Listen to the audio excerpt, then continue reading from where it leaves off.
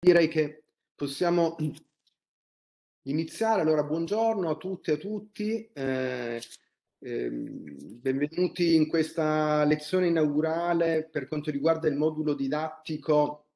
dell'Università di Torino del Master in analisi, prevenzione e contrasto della criminalità organizzata e della corruzione, un master interuniversitario, un master che in realtà è alla undicesima edizione, è stato attivato prima dall'Università di Pisa per diversi anni, a cui però molti studiosi di questi fenomeni partecipavano e da tre anni, questo è il terzo anno, è diventato interuniversitario, eh, coinvolgendo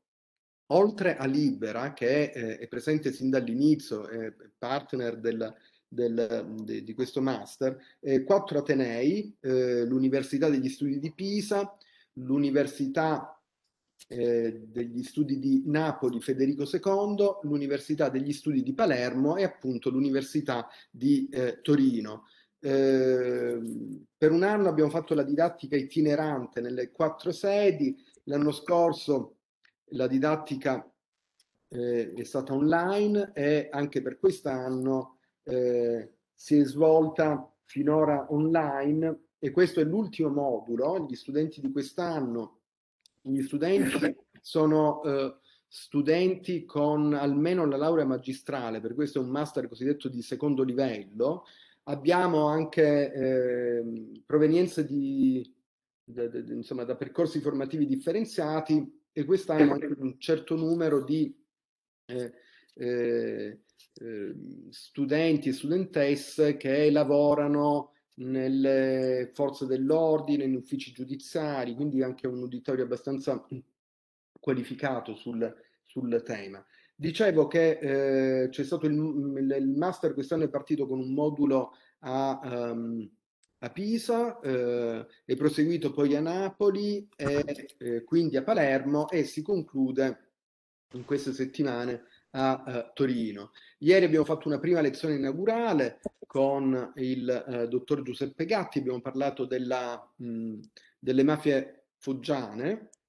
Oggi, eh, come eh, sapete, come vi ho preannunciato, almeno chi ha seguito mh, ieri, abbiamo graditissimo ospite il eh, dottor Gaetano Paci. Il dottor Gaetano Paci è magistrato con una lunghissima esperienza prima in Sicilia, dove è stato sostituto procuratore per oltre 23 anni, occupandosi prima di reati contro la pubblica amministrazione, poi una lunghissima esperienza presso la eh, direzione distrettuale antimafia di eh, Palermo e quindi con una profonda conoscenza delle dinamiche di, eh, di Cosa Nostra. Ormai da diversi anni, precisamente dal 2014, è procuratore aggiunto alla direzione distrettuale antimafia di Reggio Calabria. E, ehm, ehm, proprio da, insomma, per, per, questo ruolo eh, l'ho invitato a parlare di Ndrangheta. Il titolo che abbiamo pensato è Il contrasto all'Andrangheta da questione locale a emergenza nazionale e internazionale. Eh, il tema, insomma, l'andrangheta, come sapete, come sappiamo, è la, eh, la mafia per lungo tempo eh, sottovalutata e di cui ormai è eh, accertata la pericolosità e la presenza non solo in Calabria, ma eh, anche in, eh, a livello nazionale, in tutte le regioni e a livello internazionale. Ehm, con il dottor Paci eh, eh, oggi eh, come dire, ci parlerà eh, un po' della, eh, eh, della, delle, sue, delle conoscenze che ha maturato nelle sue esperienze investigative e giudiziarie e speriamo di avviare come dire, un dibattito anche di affrontare alcuni temi in modo diverso forse da come eh, spesso eh, la questione è rappresentata nel dibattito pubblico, eh, dove eh, magari si sottolinea l'allarmismo, della, dire, l'allarme, la pericolosità, ma eh, a volte mh, si dà poco spazio all'approfondimento, ecco, almeno, però di questo, come dire, non, eh, visto che è organizzato dall'università, io credo che per, per, come conosco il dottor Paci mi sembrava la persona giusta, io sono molto contento ad accogliere, eh, che ha accolto l'invito, eh, molto, posso dire, spingo ad apparire, insomma, non, non eh, sta nel... nel eh,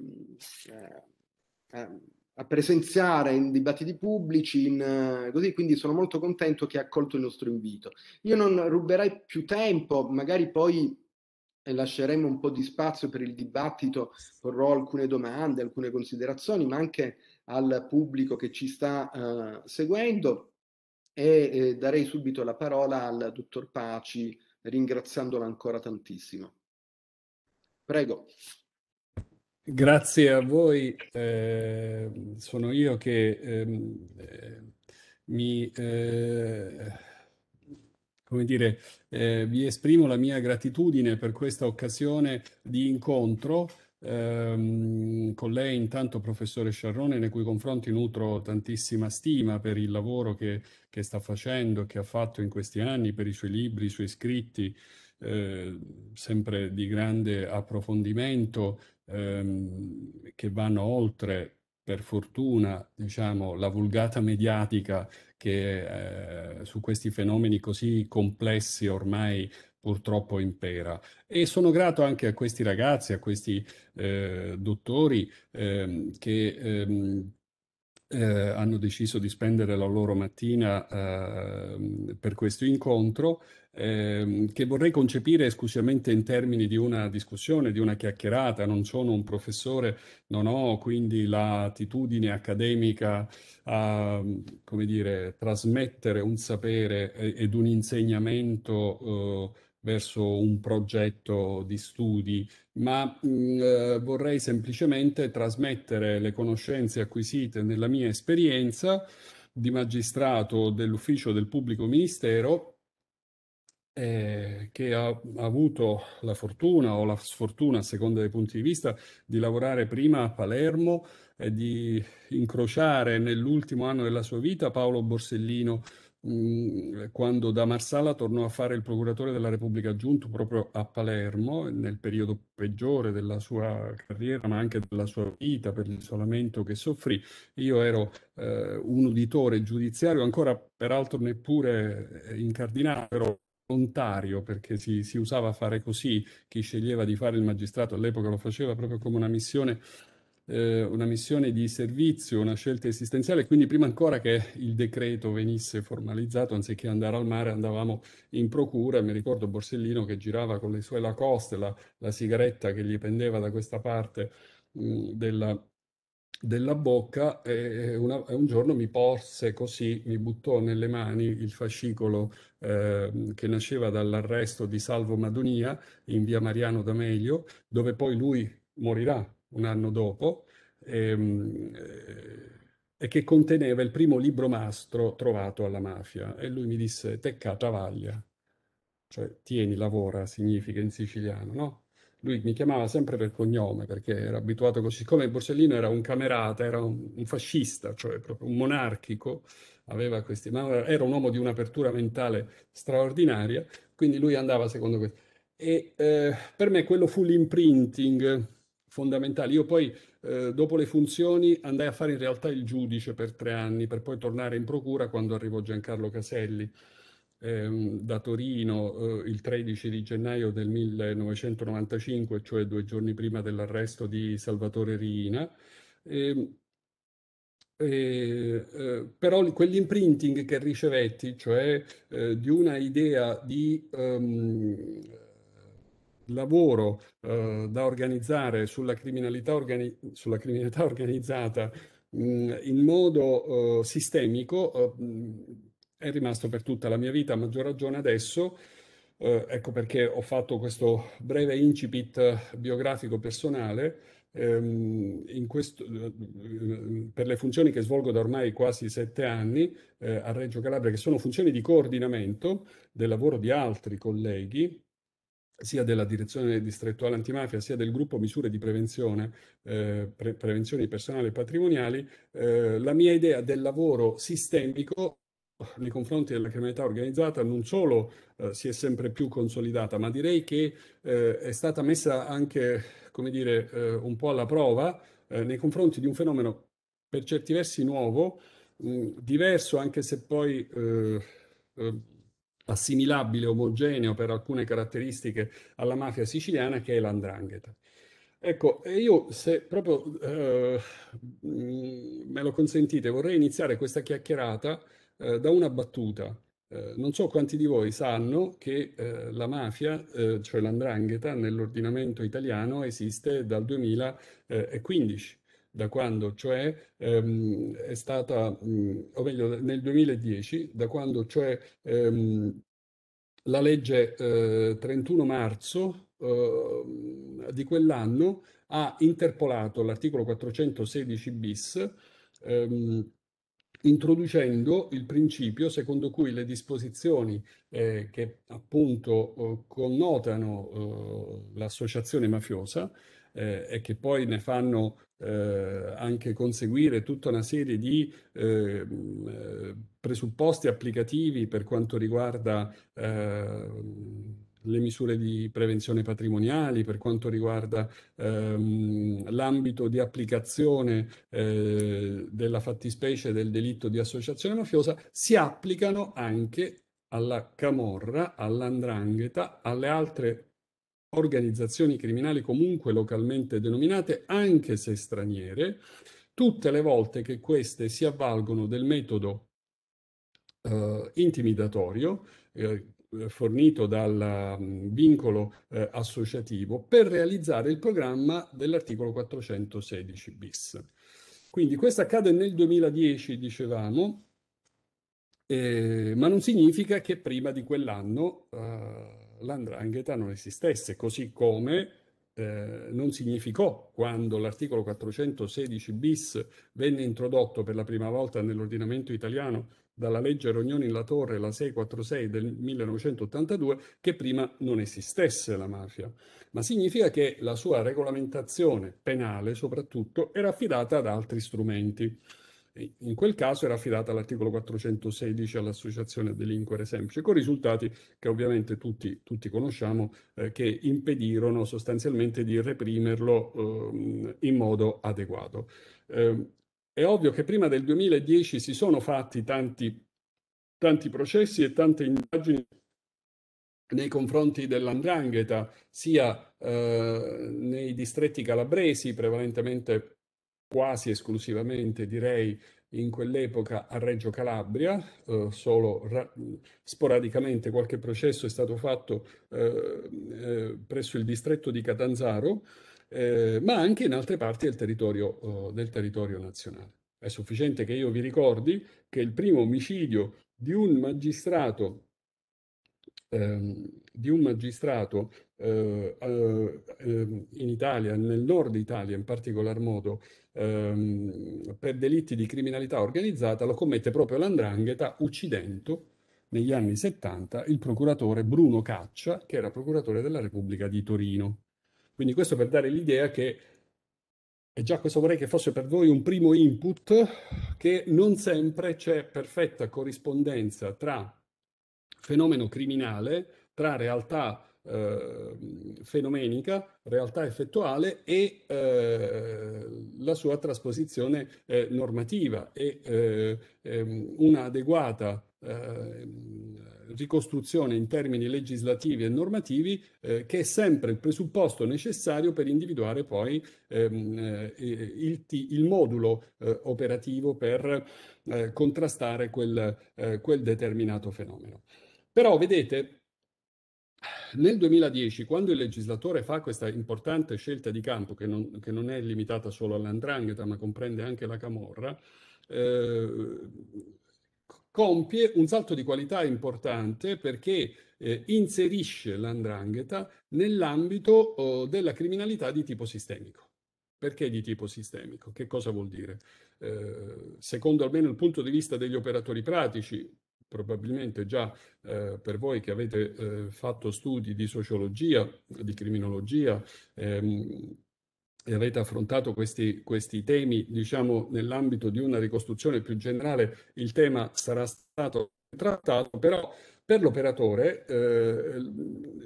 l'inserimento dell'andrangheta nell'ambito della criminalità di tipo sistemico significa riconoscere già ad un livello oh, legislativo, quindi cogente, quindi obbligatorio, che eh, il crimine organizzato di, eh, di natura andranghetista, poi vedremo che cosa è o che cosa si può intendere, è un crimine organizzato che ha una sua eh, storia, una sua evoluzione, ehm, un suo sviluppo che segue in questo sviluppo determinate costanti ehm, e che soprattutto è un crimine che non eh, si esaurisce nella eh, commissione di determinati specifici delitti, ma è un crimine che ha lo scopo di eh, ehm, condizionare eh, come dice proprio la norma dell'articolo 416 bis, l'esercizio delle attività economiche, siano esse lecite, a maggior ragione quelle illecite, ma soprattutto quelle lecite, eh, sia ehm, la gestione della concorrenza nell'ambito delle attività economiche, sia eh, l'esercizio dei poteri pubblici, sia l'esercizio del diritto di voto.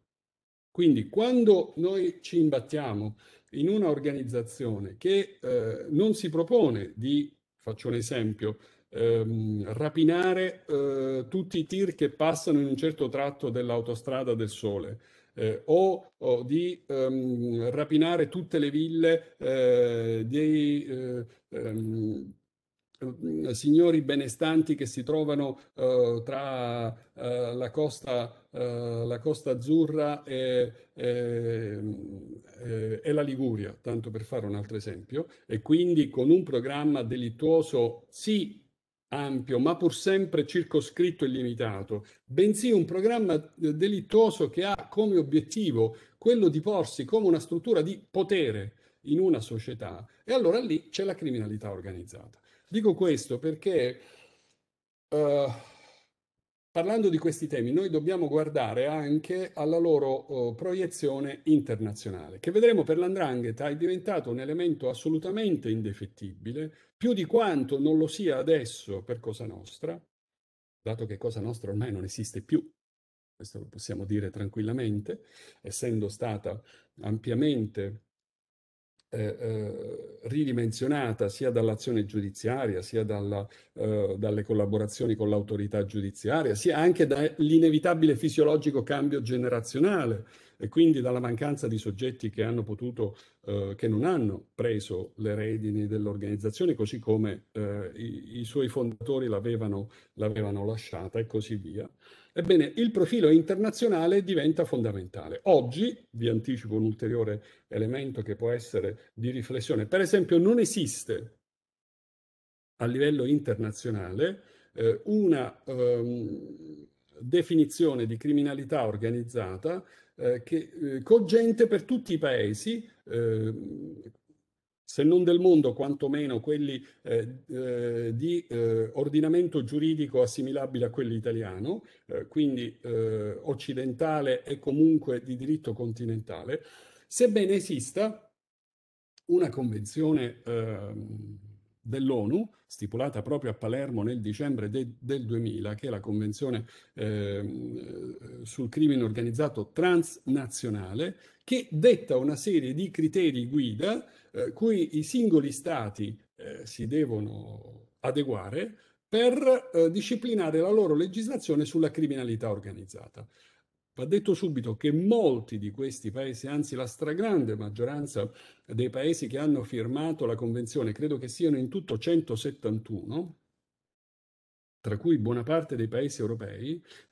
nonostante eh, hanno aderito alla Convenzione, non hanno per esempio varato delle legislazioni corrispondenti in materia di criminalità organizzata. E questo è un primo grave, gravissimo problema di crisi che noi abbiamo Ecco, sto facendo una brevissima introduzione già per mettere sul tappeto alcuni, eh, alcuni dei problemi eh, con i quali ehm, ancora oggi sia gli operatori giudiziari, ma eh, soprattutto gli stati si, eh, conf si, confrontano e che soffrono nel contrasto eh, al crimine organizzato ehm, transnazionale, di cui l'andrangheta è sostanzialmente il prototipo assoluto, è il protagonista il prototipo unico e il protagonista assoluto. Eh, ebbene, tutti questi paesi si confrontano e mh, rilevano uh, la um, grande difficoltà di uh, adottare delle misure di contrasto uh, che vadano oltre i confini del singolo specifico paese rispetto ad un'organizzazione che ormai ha dimostrato di saper adottare anche linee di intervento di carattere internazionale. Allora, quindi noi partiamo da una situazione in cui il nostro paese, e lo aveva già anticipato il vostro professore, arriva certamente in ritardo a scoprire che esiste un'organizzazione eh, che ha una eh, struttura, vedremo anche sul concetto di struttura che cosa cosa significa per l'andrangheta rispetto a quello che eh, è stata la struttura per esempio per Cosa Nostra. È chiaro che il paragone non può che essere sempre con Cosa Nostra, lo dico subito anche qui per sgombrare il campo eh, da, da, un possibile equivoco, perché per esempio la Camorra, che è l'altra, la terza organizzazione criminale citata dall'articolo 416 bis, non può mai assurgere ad elemento comparativo esaustivo ehm, nella ehm, delineazione di questo tipo di ehm,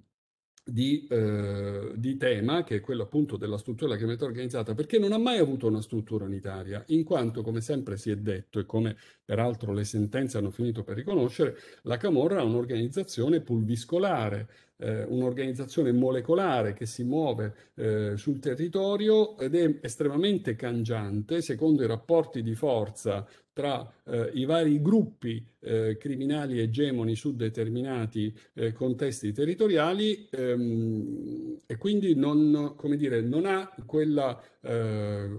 quella ehm, previsione di un ordinamento interno che invece Cosa Nostra eh, ha sempre avuto, anche se poi lo si è scoperto sostanzialmente eh, tra la fine degli anni 60 con le dichiarazioni dei primi collaboratori di giustizia, tutti mai creduti, ricorderete il collaboratore Marsala, no? eh, che, che, che, sostanzialmente anticipò di 15 anni Buscetta, che arriverà solo nel 1984. Eh,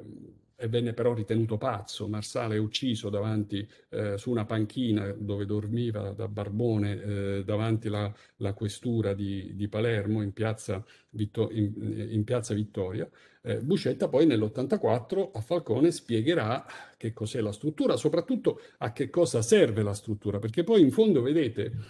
eh, come per la criminalità, come per gli stati, come per le organizzazioni complesse, come per le società multinazionali, anche per la criminalità organizzata, è un po' la funzione che crea l'organo, lo, lo, lo, secondo una terminologia propria dei costituzionalisti, cioè la funzione, la necessità, l'esigenza, l'obiettivo di eh, garantire in questo caso la preservazione dell'ente strutturale è strutturato secondo determinati criteri di tipo territoriale, di tipo funzionale, eh, rispetto alla commissione dei singoli delitti, ma soprattutto anche rispetto alle eh, situazioni di potenziale conflittualità interna eh, che, ehm, che eh, dai singoli delitti o dalle singole decisioni eh, ne può derivare. Quindi la necessità di salvaguardare l'integrità della struttura rispetto alle situazioni eh, potenzialmente disgregatrici interne comporta appunto l'esigenza di dotarsi di un insieme, eh, di, un insieme di, regole. E se, e, e se questo Cosa Nostra è riuscito a farlo fino al momento di massima crisi, Cosa Nostra in particolare è un'organizzazione che nasce sul finire ehm, del, dell'Ottocento nelle campagne siciliane, quando queste vengono eh, abbandonate dai grandi proprietari latifondisti e affidate ai, eh, agli uomini d'armi, eh, alle compagnie d'armi che erano state costituite nel 1818, lo ricorderete, che vennero utilizzate anche dai Borboni per mantenere eh, l'ordine all'interno eh, ehm, delle, delle, campagne. Ehm, eh, le compagnie d'armi erano, cost erano, costituite da, da galeoti, da, da pregiudicati, eh, quindi eh, che eh, potevano in questo modo contrattare con l'autorità costituita la loro legittimazione eh, in cambio di un servizio che fornivano. Ebbene, Cosa Nostra via via svilupperà la sua articolazione eh, eh, interna secondo dei criteri di ordine territoriale e anche di tipo funzionale, arrivando a concepire soltanto eh, all'indomani del ruolo che la stessa iniziò ad avere all'interno del traffico internazionale di stupefacenti, all'epoca era l'eroina, fine anni 60, primi anni 70, l'eroina base che veniva uh, dai, mh, dai paesi eh, dell'estremo oriente attraverso la Turchia, arrivava in Sicilia, veniva raffinata e veniva portata negli Stati Uniti. Ebbene, eh, questo uh, grosso movimento planetario uh, attraverso cui il narcotraffico all'epoca si sviluppò generò una fase di grandissima accumulazione eh, eh originaria, direbbe, direbbe Marx, eh, che servì a Cosa Nostra per fare tutta una serie di investimenti, che erano forme di riciclaggio, nel settore più immediatamente aggredibile eh, dalla criminalità organizzata all'epoca, perché il più semplice, il più permeabile, che è quello dell'edilizia. Settore oltretutto strettamente connesso alla, uh, alla, funzione pubblica, al ruolo delle istituzioni pubbliche e quindi alla politica e quindi eh, consentendo attraverso la possibilità di trasformare il provento del narcotraffico in, eh, ehm, eh, in elemento di edificazione eh, di amplissime zone del territorio, quindi una cementificazione anche selvaggia, eh, un modo per acquisire anche una legittimazione sociale. Ecco, tutto questo Cosa Nostra lo fece e lo fece in un momento in cui eh, chiaramente questa enorme massa di liquidità eh, generava anche una grandissima conflittualità. Allora, il rischio che questa conflittualità potesse diventare autodistruttiva andava, um, eh, andava fronteggiato attraverso la necessità di darsi una struttura. Quindi una serie di camere di compensazione, una serie di luoghi eh, eh, ehm, dove eh, queste tensioni potevano stemperarsi eh, e quindi le varie commissioni, la, eh, eh già livello, ad un livello elementare, quindi la famiglia, ehm, la decina, eh, il mandamento, eh, la riunione dei mandamenti e poi la commissione provinciale di Cosa Nostra e così via, fino a quella regionale. Tutto questo accade nel momento di massima eh, ehm, espansione economica di Cosa Nostra, che a un certo punto aggancia anche l'espansione del welfare nazionale, perché ricorderete che soprattutto negli anni Ottanta, ehm, con eh, eh, la fase espansiva dell'economia determinata dalla... Um, da una spesa pubblica sempre più oh, eh, ampia, sempre più eh, um, diciamo, eh, in, um, inserita in vari gangli eh, sociali ed economici, per esempio la spesa pubblica in materia sanitaria, no? creò eh, i presupposti eh, in Sicilia per eh, un condizionamento profondo della sanità da parte di Cosa Nostra. gli anni 80, gli anni 90, gli anni 2000, la sanità, tanto per dire, è il, ter il terreno su cui cade il governatore eh, della Sicilia Salvatore Cuffaro per le, le sue collusioni con, um, eh, con l'ultimo scampolo oh, dei Corleonesi, quelli che facevano capo all'ingegnere Aiello, a Bernardo Provenzano e, così via. E, e, così, via. Eh, e così anche in altri settori economici. Quindi eh, questo per dire che c'è ovviamente una costante ehm, nelle storie eh, della criminalità organizzata di tipo sistemico, ovviamente, tra ehm, le congiunture di carattere economico, o sociale, ma anche di ordine eh, macrosistemico a livello politico ed internazionale e eh, ehm, le modalità anche di tipo strutturale, di tipo organizzativo con cui l'organizzazione criminale si adegua ad, aff ad affrontare eh, questi passaggi. La stessa cosa è, sta è stata per l'andrangheta. Però perché l'andrangheta ehm, ha ehm, rispetto a Cosa Nostra ehm, impiegato più tempo ad emergere come fenomeno, fenomeno criminale, perché alla base l'andrangheta è un fenomeno intanto di tipo, eh, ehm, di tipo familiare, cioè eh, la struttura criminale di base è costituita dalla famiglia di sangue, mentre invece ehm, la struttura eh, criminale di base della, uh, della, di, della, mafia siciliana è, è, ehm, è, sganciata dalla famiglia di sangue. Voi non troverete eh, eh una uh, cellula elementare quale può essere la famiglia indicata col nome del familiare ma semmai col nome della zona. Quindi così c'è la famiglia di Pagliarelli, di Corso dei Mille, eh, di Resultano, oh, di Catania eh, e così via. Eh, mentre in Calabria trovate i Cacciola, i De Stefano, i Condello, i Tegano, eh, i Nirta, i Morabito, i Farao Maringola e così via. Quindi eh, questo ehm, è diciamo, l'elemento che se può apparire eh, segno di un limite, in realtà per la prima fase eh, di eh,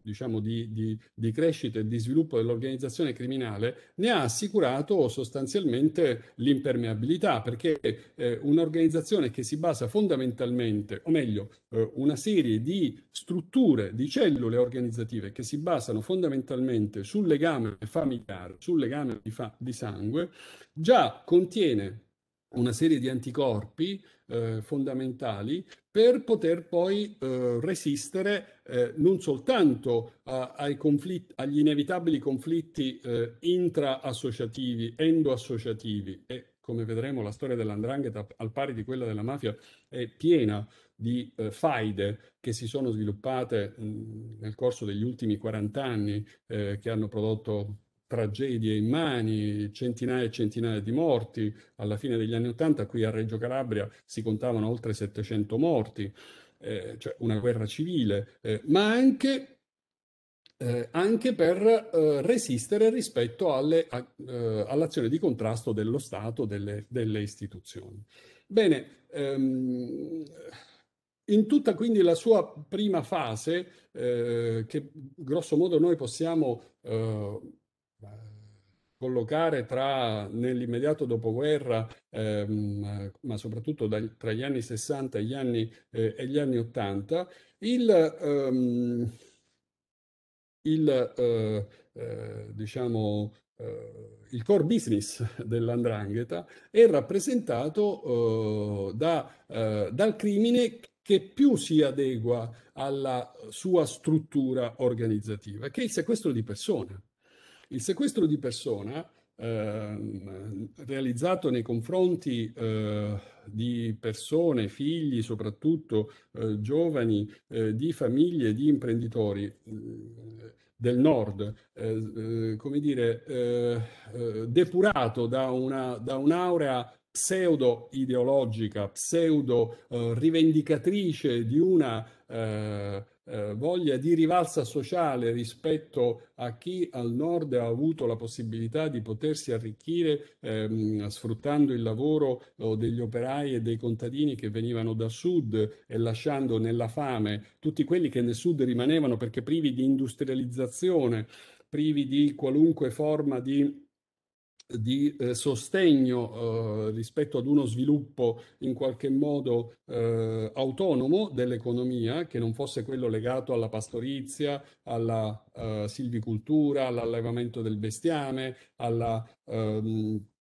alla, eh, allo sfruttamento della terra, neppure oppure alla, uh, alla, pesca, perché di fatto uh, la pesca in Calabria, a differenza per esempio della Sicilia o di altre regioni, non è mai stata una risorsa economica uh, significativa. quindi sgombrato questo tipo di, um, di giustificazione dal, dalla ricostruzione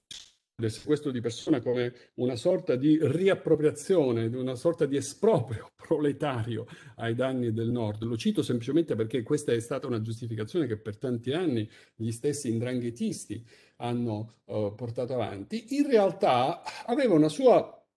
una sua um, diciamo, eh, reale giustificazione proprio perché questo tipo di crimine eh, poteva essere assicurato dalla straordinaria forma di solidarietà eh, che si veniva a creare eh, non solo all'interno di una stessa famiglia, quella che normalmente eh, gestiva il sequestro di persona, eh, inserita magari in un network, in un gruppo, in un consorzio di, di famiglie che ne concepivano la, mh, mm, la, la, realizzazione, poi la gestione in tutte le sue eh, varie fasi esecutive, ma anche eh, sul territorio, perché ehm, la ehm, eh, fase in cui eh, eh, un sequestrato permaneva ehm, per più tempo, addirittura anni, eh, sul territorio calabrese, veniva affidato eh, da, da, una famiglia ad un'altra, spostandosi eh, in varie parti, soprattutto delle zone aspromontane, particolarmente impervie ed inaccessibili anche alla, agli operatori eh, di polizia eh, e dell'investigazione, eh, finiva anche per dare a, a quelle famiglie coinvolte in questo tipo di crimini, quindi crimini di lunga durata, crimini tra l'altro mm, necessitanti anche eh, di una base di, di, di, di interlocuzione ehm, eh, nelle zone eh, di provenienza dei sequestrati, normalmente appunto del, dell'area industriale eh, del nord eh, del paese eh, e che ha generato poi nel tempo anche l'insediamento criminale delle, delle indrine fuori dal territorio calabrese. Anche questo è un aspetto importante del quale cercherò mm, pure, sul quale cercherò pure di dire, eh, di dire qualcosa. Ehm, e, eh, e, già eh, ci sono varie sentenze in, in diversi sequestri, ehm, molti dei quali peraltro anche conclusi eh, con modalità, con esiti non sempre mm, eh, diciamo fausti, eh, con la soppressione o comunque la mutilazione dell'ostaggio. Ehm, che eh, evidenziano come la, mh, la modalità operativa dell'organizzazione fosse molto complessa, perché basata certamente sulla sua capacità di eh, eh, eludere qualunque forma di investigazione sul territorio, ma non solo, anche sulla sua capacità di saper instaurare eh, rapporti e collegamenti con le forze di polizia, con gli investigatori, ehm, generando così la pratica delle eh, relazioni, diciamo, sotterranee, spesso non visibili, eh, informali, ma eh, che si rivelarono particolarmente eh, utili e significative per consentire all'organizzazione da un lato di proporsi come soggetto affidabile rispetto eh, a, a, agli investigatori eh, per risolvere appunto le questioni critiche legate al sequestro di persona o vedremo poi anche ad altri fenomeni, ad altri fatti, ad altri fatti specifici. Eh, questo peraltro mette in evidenza un dato che accomuna un po' oh, la caratteristica, una delle caratteristiche delle organizzazioni criminali di tipo sistemico nel rapporto con le forze dell'ordine, che ritroviamo anche in Cosa Nostra. Cioè, ehm, anche in Cosa Nostra, alcuni tra i principali leader delle organizzazioni eh, mh, come è stato ricostruito da, da varie sentenze, mantenevano rapporti eh, preferenziali, ancorché eh, riservati eh, e fuori da ogni ufficialità, con le forze dell'ordine, perché ehm, questo costituiva, come dire, un riconoscimento della loro capacità di saper interloquire ehm, con l'autorità formale costituita, ma anche della loro capacità di saper gestire situazioni eh, che ehm,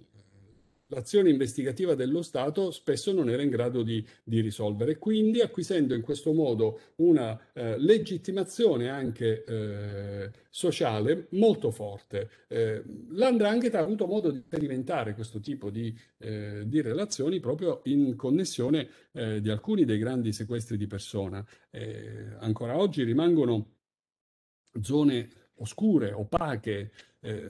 non, non, non, non, chiare sulle modalità con cui si è pervenuti alla uh, liberazione dell'ostaggio, al di là della formale eh, corresponsione del, mh, mm, del, uh, del riscatto, peraltro in un momento eh, in cui poi a un certo punto viene introdotta anche una legge che impedisce il pagamento del riscatto ai, ai sequestratori, eppure questo viene eh, pagato ugualmente attraverso la mediazione di soggetti eh, terzi, eh, professionisti, eh, faccendieri, eh, soggetti dei servizi, ovviamente non proprio eh, in linea con le prassi ortodosse dei servizi di sicurezza eh, e così via. Quindi tutto questo accresce, come dire, quel capitale sociale che fa dell'andrangheta un punto eh, di riferimento sul territorio, perché se poi l'autorità di polizia aveva necessità di contrastare eh, un certo tipo di criminale, un certo tipo di organizzazione che si muoveva all'atere della propria eh, operatività, eh, l'ondranghetista ehm, ehm, o ehm, eh, comunque le persone delle quali egli era in grado uh, di, poter, uh, di, poter, disporre mh, assicurava quel tipo di risultato, per cui eh, eh, concorreva in qualche modo anche a consolidare l'azione della, uh,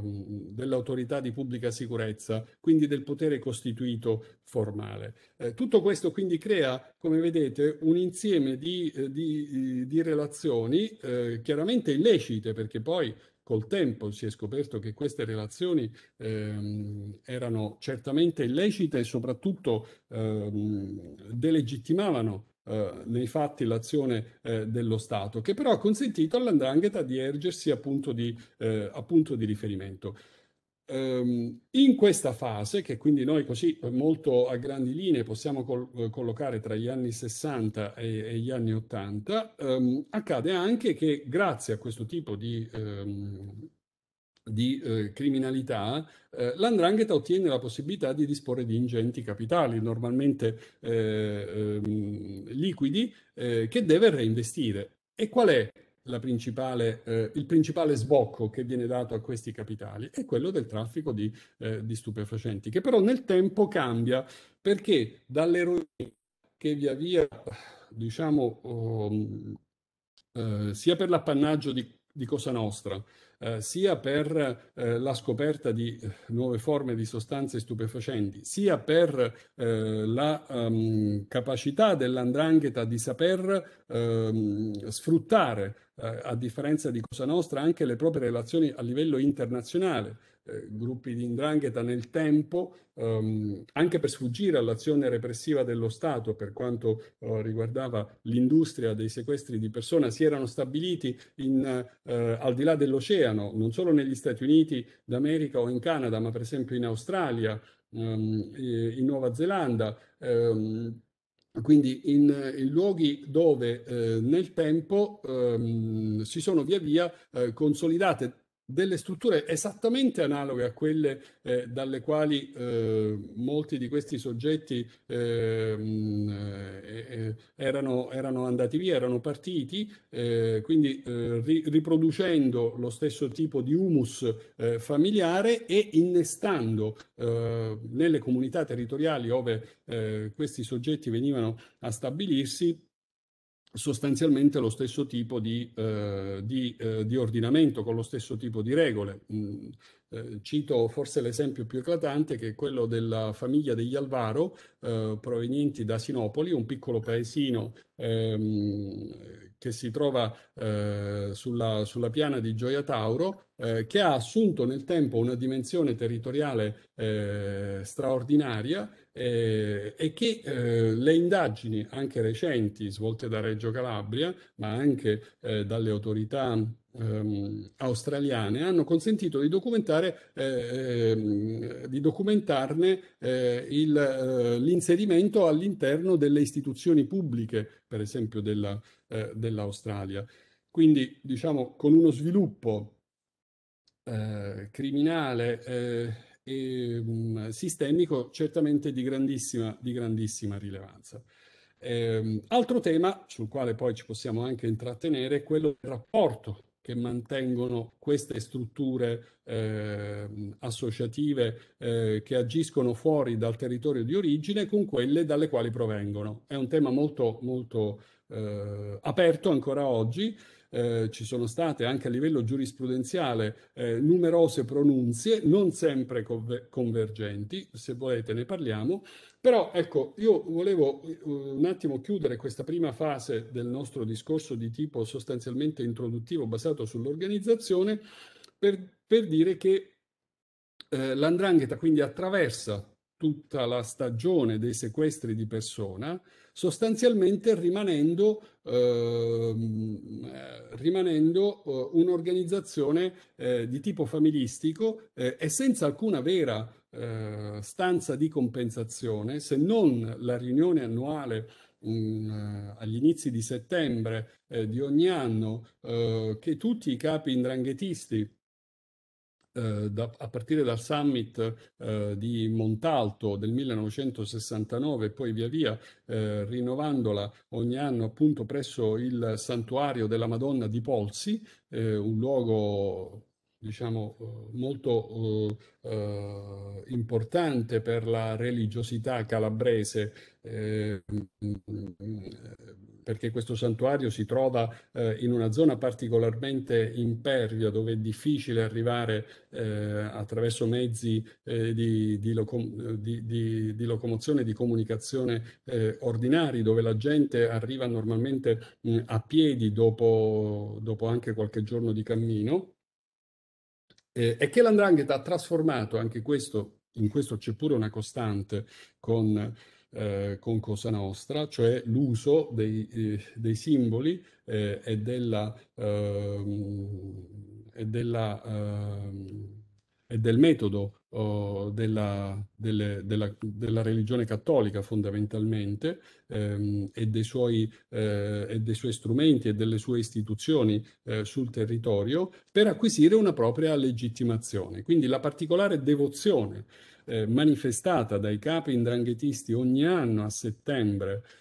quando uh, si celebra la, la, la, festa della Madonna di Pozzi, quando ritornano dal, dall'estero, eh, non solo dall'Europa, ma soprattutto dalle Americhe e, dalla, um, e, dalla, e dall'Australia e dal Canada, eh, tutti gli immigrati che nel frattempo hanno ruoli di indranghetisti formalizzati in quei paesi, eh, diventa un elemento, come dire, via via sempre più uh, consolidato e costante, a tal punto che eh, questo elemento Um, ecco ancora il discorso che si faceva prima della, um, eh, della, uh, della, funzione che sviluppa l'organo. Uh, in questo caso la funzione qual è? La funzione è quella di assicurare, uh, di assicurare su un piano internazionale una gestione quanto più possibile coordinata del traffico di stupefacenti, del traffico di armi, al fine di evitare l'insorgere di conflittualità. Bene, scusate un attimo il telefono che rispondo dopo. E, ehm, perché anche qui, ovviamente, eh, così come è stato per Cosa Nostra, ehm, in presenza di una eh, economia illegale, eh, che questa volta non è più quella dei sequestri di persona, ma quella del traffico internazionale di stupefacenti, eh, occorre disciplinare sostanzialmente il fenomeno e dunque occorre creare anche delle condizioni per evitare che ehm, la gestione di queste ricchezze possa diventare eh, eh, un elemento di, auto, eh, di autodistruzione. E quindi si creano una serie di stanze di compensazione che via via servono a coordinare gli interventi eh, facendo in modo eh, che ehm, ciò che accade nei territori eh, diversi da quelli di origine siano pur sempre ehm, riconducibili eh, in fase quantomeno eh, ideativa ehm, ad una interlocuzione preventiva eh, con i capi ehm, delle endrine rimasti sul, sui territori o a forme di autorizzazione di volta in volta in base alle situazioni contingenti. Dunque, la necessità di creare eh, una, uh, un coordinamento mh, nell'azione delle varie eh, indrine a un certo punto è eh, un, sostanzialmente un atto dovuto. Ecco perché anche nel contrasto giudiziario mh, alla mafia cambia la prospettiva.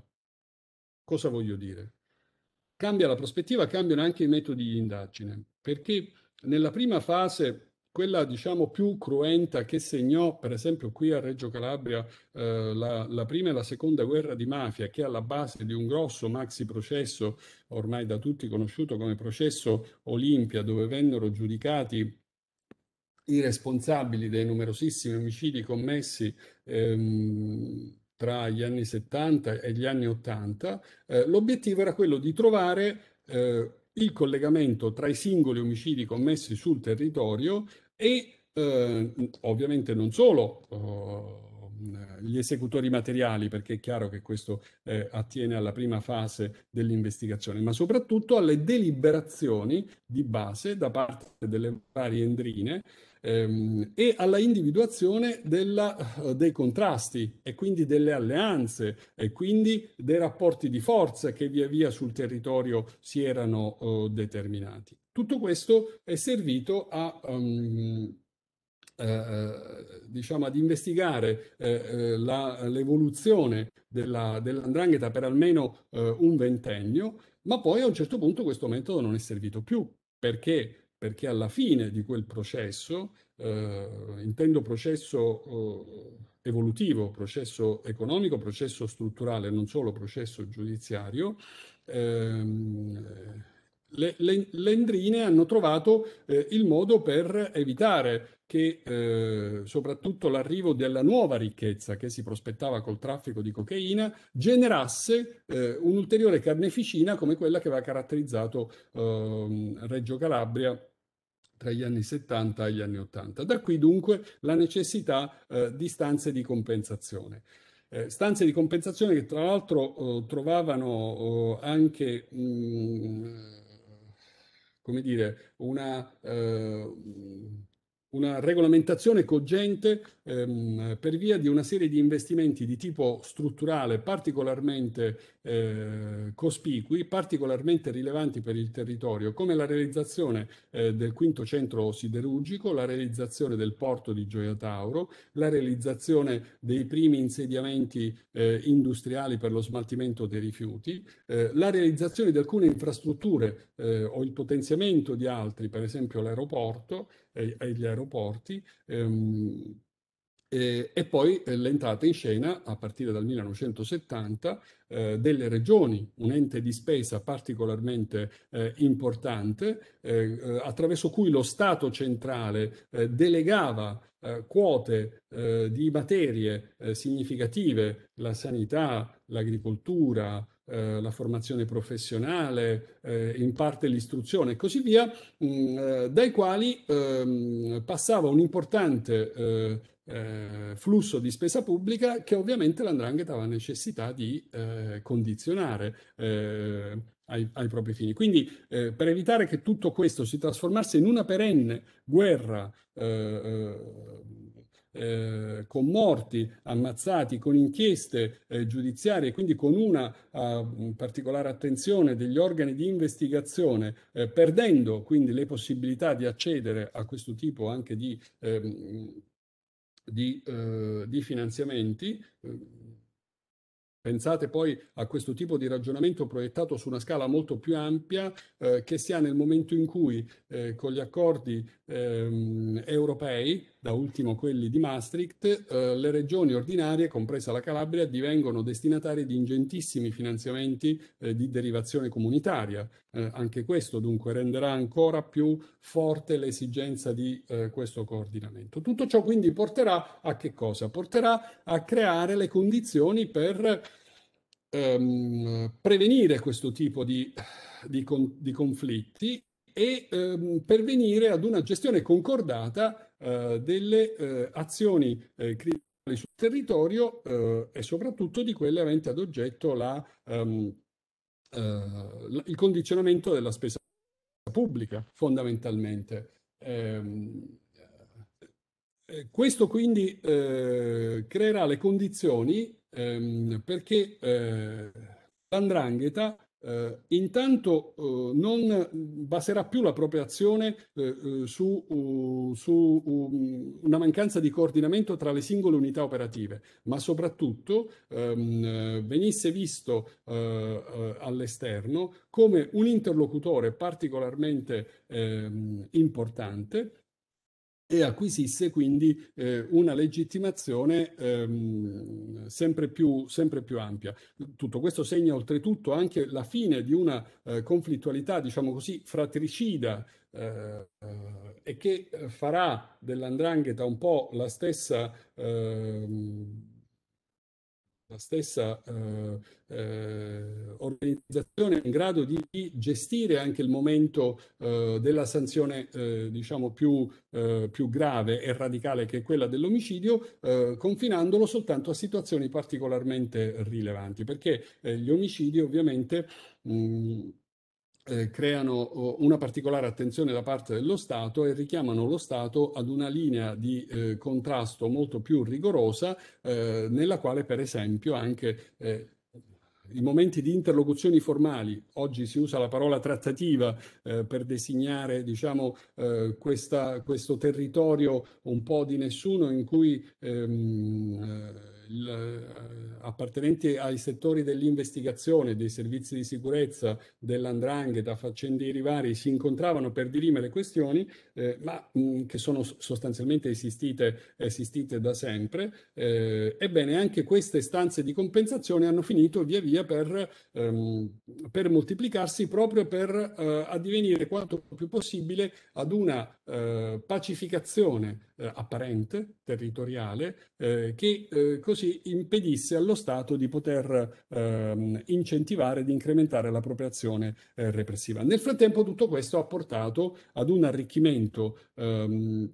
sempre più cospicuo delle cosche di Indrangheta e soprattutto all'esigenza di trovare, eh, di dare uno sbocco a, a, questo, eh, a, questi capitali, a questi flussi finanziari che andassero al di là dell'economia illegale propriamente detta, quindi traffico di stupefacenti e traffico di armi in primo luogo e poi in parte anche traffico, eh, traffico di rifiuti. E quindi l'esigenza di inserirsi ehm, nel contesto dei mercati, eh, dei mercati eh, legali, dei mercati regolari. Ehm, tutto ciò viene eh, da un punto di vista giudiziario radiografato in un altro grosso processo che segna un po' la, la sintesi di, di, tutto quello che ho cercato di, ehm, di rappresentarvi in termini estremamente, ehm, se volete, anche un po' eh, grossolani, ma ehm, la storia eh, di questi anni è proprio questa, che è il processo crimine. Ehm, il processo crimine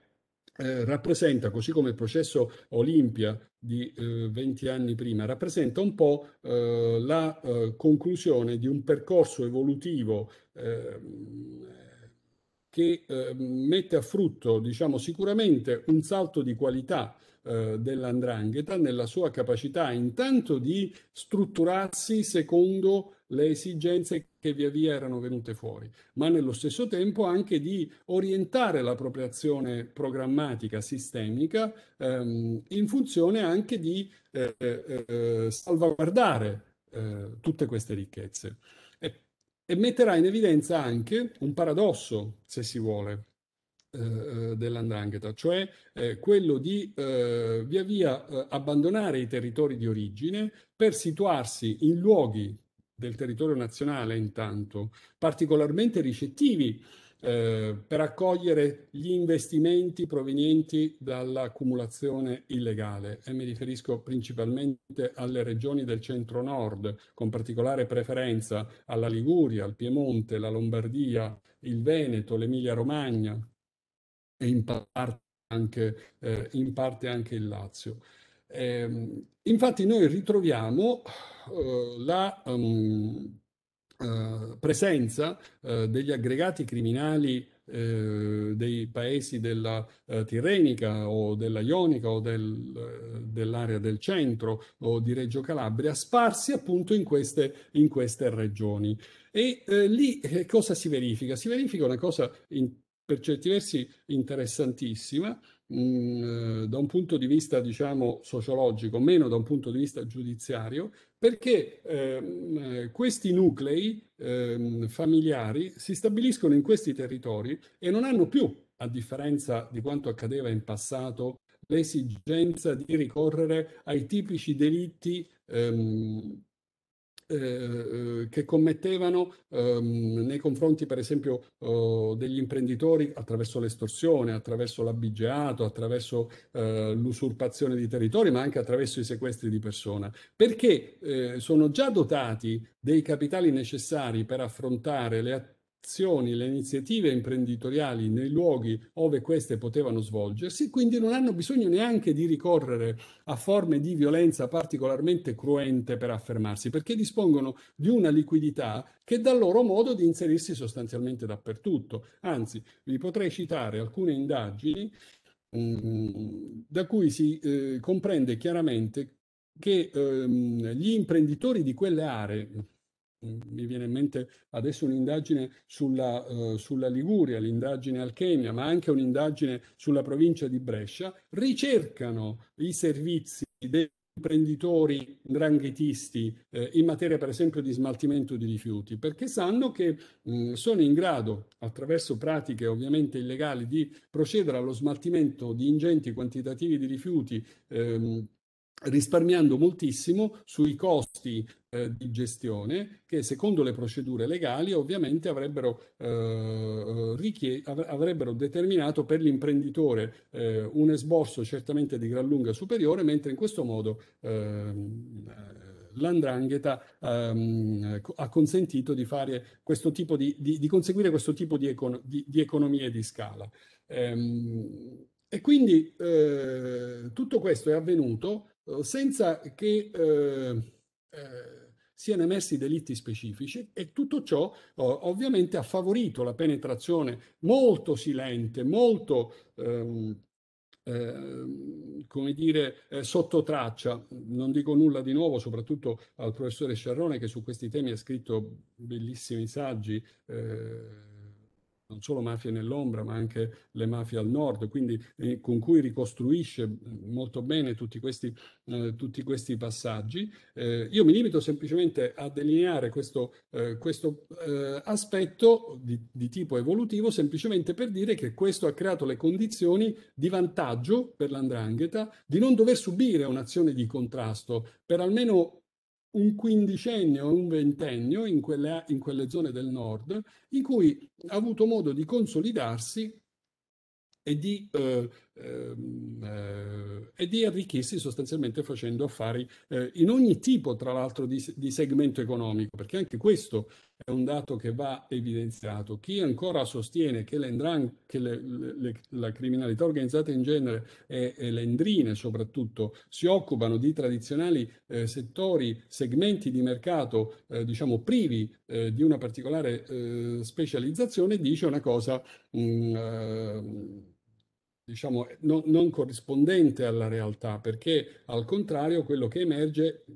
è appunto in materia di rifiuti, eh, di smaltimento di rifiuti, ma anche in materia di eh, lavori di alta eh, specializzazione. Mh, in materia per esempio di sfruttamento uh, delle energie alternative. Ecco, uh, l'andrangheta attraverso uh, la capacità anche di saper arruolare, di saper convogliare al proprio interno le competenze specialistiche di esperti, um, di funzionari della pubblica amministrazione attraverso la corruzione, la corruzione anche elettorale di, di politici e, um, e uomini eh, interessati eh, a ottenere incarichi di tipo politico eh, nelle varie istituzioni sia territoriali che nazionali, è stata in grado sostanzialmente di occupare anche eh, settori di, di, di, mercato e quindi di spesa, sia pubblica che privata, ehm, particolarmente, particolarmente importanti. Allora, la sentenza crimine, eh, che assieme alla sentenza infinito del Tribunale di Milano interviene tra i primi anni uh, um, successivi al 2000, 2010, 2012, 2014, um, è un po' la somma di questo ulteriore processo sia di tipo economico, ma anche di tipo criminale, oltre che di tipo strutturale, e che però, a differenza di quello che accadeva nel ventennio precedente, è basato essenzialmente sul rapporto che deve esistere tra eh, la casa madre, cioè l'organizzazione di provenienza, e eh, quella che opera sul territorio eh, delle altre regioni, perché questo rapporto eh, deve avere una sua connotazione eh, specifica per essere considerato penalmente rilevante. Badate che in alcuni casi questo rapporto è stato ritenuto privo di rilevanza penale e gli imputati sono perché, come dicevo prima, nel loro operare non hanno dato adito ai tipici delitti eh, come le estorsioni, le intimidazioni, ehm, eh, gli omicidi eh, eh, o comunque traffici generalmente, eh, genericamente illeciti, eh, perché avendo la possibilità di eh, investire moltissimi soldi, sostanzialmente si sono comportati come apparentemente un normale imprenditore, sia pure facendo sempre capo all'organizzazione eh, ndranghetista, eh, di base eh, per assumere, come dire, le linee strategiche. Eh, diciamo che l'occasione che ha dato poi origine ad un ripensamento anche di questo aspetto ehm, dell'azione eh, fuori territorio dell'Endrangheta è stato anche qui un fatto eh, traumatico, cioè l'omicidio di un ndranghetista ehm, che intendeva eh, sganciarsi completamente eh, dalla casa madre e um, assumere la piena autonomia operativa eh, in Lombardia soprattutto, eh, in modo da poter ehm, avere il controllo rispetto a tutta una serie di attività economiche. Ebbene, questo fatto scatena una reazione eh, particolarmente eh, forte, particolarmente cruenta, scatena oltretutto eh, le attenzioni da parte eh, delle forze investigative che peraltro, diciamolo pure, non erano neanche preparate al nord ad affrontare adeguatamente eh, l'analisi eh, dell'operatività propria dell'andrangheta, eh, cosa che ne aveva determinato appunto un vantaggio fortissimo, e da questo punto di vista quindi ehm, a trovare eh, in qualche modo un rimedio rispetto, eh, rispetto ormai ad una presenza sempre più massiccia e radicata. Oggi, a distanza ancora di quasi dieci anni da quelle sentenze che hanno segnato un po' un ulteriore, ehm, diciamo, eh, segmento, importante segmento storico eh, della presenza dell'endrangheta nel, nost nel, nostro paese, eh, in realtà è residuato e residua un ulteriore problema ancora perché questo tipo di eh, delocalizzazione non è avvenuta soltanto col nord Italia, è avvenuta anche eh, con altri paesi dell'Europa, oltre che con paesi oltreoceano. Eh, e qui ritorniamo al discorso che, si, che io avevo accennato all'inizio, eh, ad uno dei grandi momenti di crisi che attualmente l'azione investigativa mh, dello, Stato, uh, dello Stato italiano sconta rispetto a quella di altri paesi che non uh, si sono dotati nel frattempo dello stesso sistema di contrasto. Mi riferisco alla Germania, alla, alla, Germania in primo luogo, dato che peraltro la, la, prima presa di coscienza collettiva della natura dell'andrangheta avviene nella notte tra il 14 e il 15 agosto del 2007 con la, la famosa ormai nota uh, strage di Duisburg, ma anche l'Olanda, la Spagna, il Belgio, la stessa Inghilterra, dove la presenza andranghetista è fortissima, ancorché impercepibile sotto il profilo dei delitti, diciamo così, da strada, eh, perché in quei paesi si è via via consolidata una rete di relazioni di tipo economico. Faccio un esempio anche qui, eh, lasciando poi vostra, eh, al vostro interesse, alla vostra attenzione la, la possibilità di un approfondimento, eh, il settore eh, della ristorazione, per esempio in Germania, è in mano ai calabresi, è in mano all'andrangheta. Eh, non ci sono mai state eh, da quello che noi sappiamo, nonostante le nostre segnalazioni, indagini su questo settore eh, economico. Eh, ritengo per la semplice ragione che eh, se così eh, fosse stato, a parte la necessità di dotare di professionalità le forze di polizia, di strumenti ehm, investigativi, ehm, eh, che non sempre sono adeguati all'altezza di questo tipo di, eh, di fenomeni, ehm, eh, anche di tipo patrimoniale, eh, eh, ma se veramente la Germania ehm, eh, avesse iniziato un'azione a tappeto, eh, so, soprattutto all'indomani di Duisburg, eh, ricordiamoci che la strage eh, avviene all'interno di una pizzeria eh, e che eh, coloro che sono stati uccisi vi lavoravano, comunque ne erano ospiti, comunque lavoravano tutti nel settore ristorazione e poi anche nel settore della grande distribuzione commerciale. Ebbene, per la Germania sarebbe eh, una eh, situazione difficile da, um, da, da, contenere perché verrebbe a trovarsi eh, con una eh, condizione in cui eh, buona parte eh, di coloro che eh, gestiscono questo tipo di attività eh, sono riconducibili alle famiglie, alle famiglie di Indrangheta e variamente collegate anche al traffico internazionale di stupefacenti. lo stesso dicasi per l'Olanda, lo stesso dicasi per la Spagna il Belgio, Malta, Malta è stata per tanti anni eh, la, la, la, il luogo diciamo, privilegiato di gestione delle scommesse clandestine, delle, dei giochi online. Eh, le più importanti società che l'Andrangheta ha costituito nella materia mh, mm, delle scommesse online avevano tutte sede eh, a Malta. Un'inchiesta eh, del mio ufficio lo ha acclarato in modo Mm, assolutamente inequivoco. Eh, quindi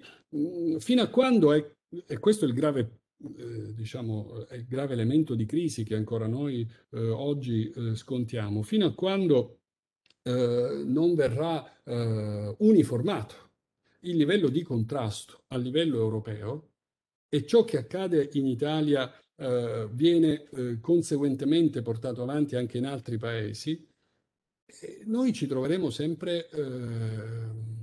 in grandissima difficoltà perché avremo limitato la nostra azione eh, all'interno del territorio nazionale, del nostro territorio nazionale, quando in realtà la forza operativa dell'andrangheta, io uso spesso l'espressione delle andranghete perché eh, sono tante le organizzazioni che poi operano su, su questi territori, ehm, eh, ormai si svolge su questi luoghi. Vorrei citarvi soltanto uno dei casi più clamorosi e più recenti, eh, che a mio giudizio proprio dimostrano la, lo, scol- lo, scollegamento che esiste in ambito europeo eh, fino a quando l'Unione, l'Unione, Europea non diverrà veramente una, eh, federa- uno Stato federale, non si doterà di un ordinamento eh, investigativo e giudiziario uniforme nonostante tutte le agenzie di coordinamento che in atto esistono. Ed è la vicenda di un piccolo paese situato nel cuore dell'Europa, in particolare dell'Europa eh, dell'Est, che è la, mm, la Slovacchia. Ebbene, in Slovacchia voi sapete che eh, nel febbraio del 2018 eh, un giornalista 27enne, Jan Kusiak, è stato ucciso assieme alla sua fidanzata barbaramente ehm, con diversi colpi di pistola sparatigli da brevissima distanza da un killer apparentemente solitario che è arrivato sino a dentro l'abitazione di questi eh, ragazzi di un piccolo centro ehm, del paese. Ehm, eh, e mh, uccidendolo, uh, uccidendoli eh, e, e, facendo sì che poi la loro morte venisse scoperta diverse, diverse ore dopo. Eh, cosa avessero commesso questi due ragazzi, lui giornalista, lei architetto, per meritare questa fine eh, atroce, eh, non è mai emerso in modo, eh, come dire, eh, causalmente incontrovertibile. L'unica cosa che è emersa è che lui era un giornalista di un'agenzia eh, di giornalismo investigativo collegato alla, uh, a vari altri giornalisti, tra cui alcuni anche italiani, eh, è con sede in diversi europei. Uh, il consorzio di giornalismo investigativo credo che si chiami eh, IRI, IRSI o, o, IRI, una cosa del genere, mh, mm, e che soprattutto stava lavorando sulla presenza di alcune eh, famiglie calabresi di indrangheta da tempo stanziatisi in quei paesi e delle relazioni ehm, di, questi, eh, di questi soggetti con esponenti dell'apparato pubblico, eh, dell'apparato imprenditoriale, ehm, addirittura alcuni molto vicini anche alla presidenza della Repubblica. Ebbene, eh, prima di quell'omicidio mai nessuno si era occupato di queste famiglie di Ndrangheta.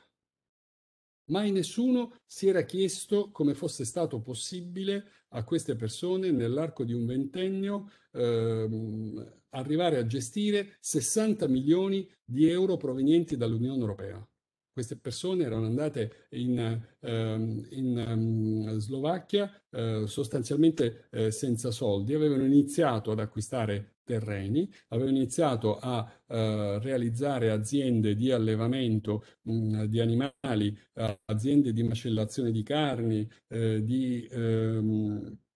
di sfruttamento intensivo uh, di terreni, eh, beneficiando di sostegni pubblici straordinari, senza che mai nessuno si fosse posto il problema di andare a verificare eh, chi, cosa, come e perché. L'omicidio di questo povero ragazzo e della sua fidanzata eh, ha, come dire, eh, improvvisamente messo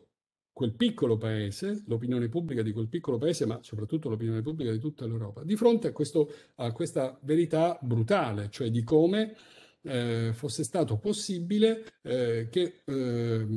gruppi eh, di eh, eh, a un certo punto si siano potuti arricchire in questo modo. L'inchiesta giudiziaria che verrà fatta eh, accerterà alcune responsabilità per questo omicidio, soprattutto a livello esecutivo. È sempre rimasto sullo sfondo eh, quello che poi era fondamentalmente l'azione eh, eh investigativa che Cusiak stava svolgendo assieme ai suoi colleghi, cioè le collusioni, le connessioni tra eh, le famiglie Vadalà, Rodà, alcune delle famiglie eh, della Ndrangheta Regina Ionica, eh, con eh, eh, centri ehm, diciamo, dell'amministrazione pubblica, eh, con apparati dei servizi, eh, con ehm, personalità politiche anche di alto livello, documentati da tutta una serie di attività eh, di indagine, tra l'altro di cui anche le stesse autorità slovacche, prima ancora del, dell'omicidio, diversi anni prima dell'omicidio, erano venute a conoscenza perché le autorità giudiziarie italiane avevano trasmesso questi dati, ma non erano semplicemente mai stati presi in considerazione, mai sviluppati, mai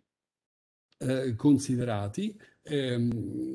e, su questa vicenda eh, saprete tutti che eh, in quel paese, devo dire, ci sono stati notevoli rivolgimenti, è, è, caduto un governo, è caduto il Presidente della Repubblica, è stato eletto un nuovo Presidente della Repubblica, c'è stata almeno, così ci viene rappresentata, una presa di coscienza eh, sempre più forte, sempre più ampia del livello di eh, ehm, di, di, di, di, presenza, di condizionamento da parte, eh, da parte della criminalità organizzata all'interno, eh, al proprio interno. Ecco, questa è una vicenda paradigmatica, ma potrei citarne altre. Eh, appesantendo magari mia, eh, il mio discorso, però il senso è sempre lo stesso, cioè fino a quando uh, ci saranno dei paesi che uh, per tante ragioni neppure, come dire, eh, tutte riconducibili ad una volontà di, ehm, di non voler eh, considerare questi fenomeni, ma direi in primo luogo alla eh, incapacità o difficoltà a considerarli nella giusta dimensione, eh, così come eh, siamo in grado ormai di fare noi da tanto tempo, almeno a partire dal maxi processo dal pool istruzione ehm, del Tribunale di, di Palermo nei, dagli, dagli anni Ottanta in poi. E quindi questi fenomeni rimarranno sostanzialmente privi di una considerazione in altri eh, territori di altri paesi dell'Unione Europea l'azione di contrasto che eh, la magistratura, le forze dell'ordine, pur con tutti i suoi limiti, pur con tutte le sue difficoltà, eh, pur con tutte le sue cadute peraltro note anche recentemente, di, di, di, eh, di, moralità, di etica, di correttezza e quant'altro, ma che comunque ha consentito di assicurare in questi anni, sarà sempre monca, sarà sempre, avrà sempre colpito una parte del sistema, del sistema criminale, ma non lo avrà aggredito nella sua, eh, nella sua interezza. Ecco, quello che eh, grande, ehm, la grande difficoltà che noi oggi abbiamo davanti è far comprendere a questi paesi che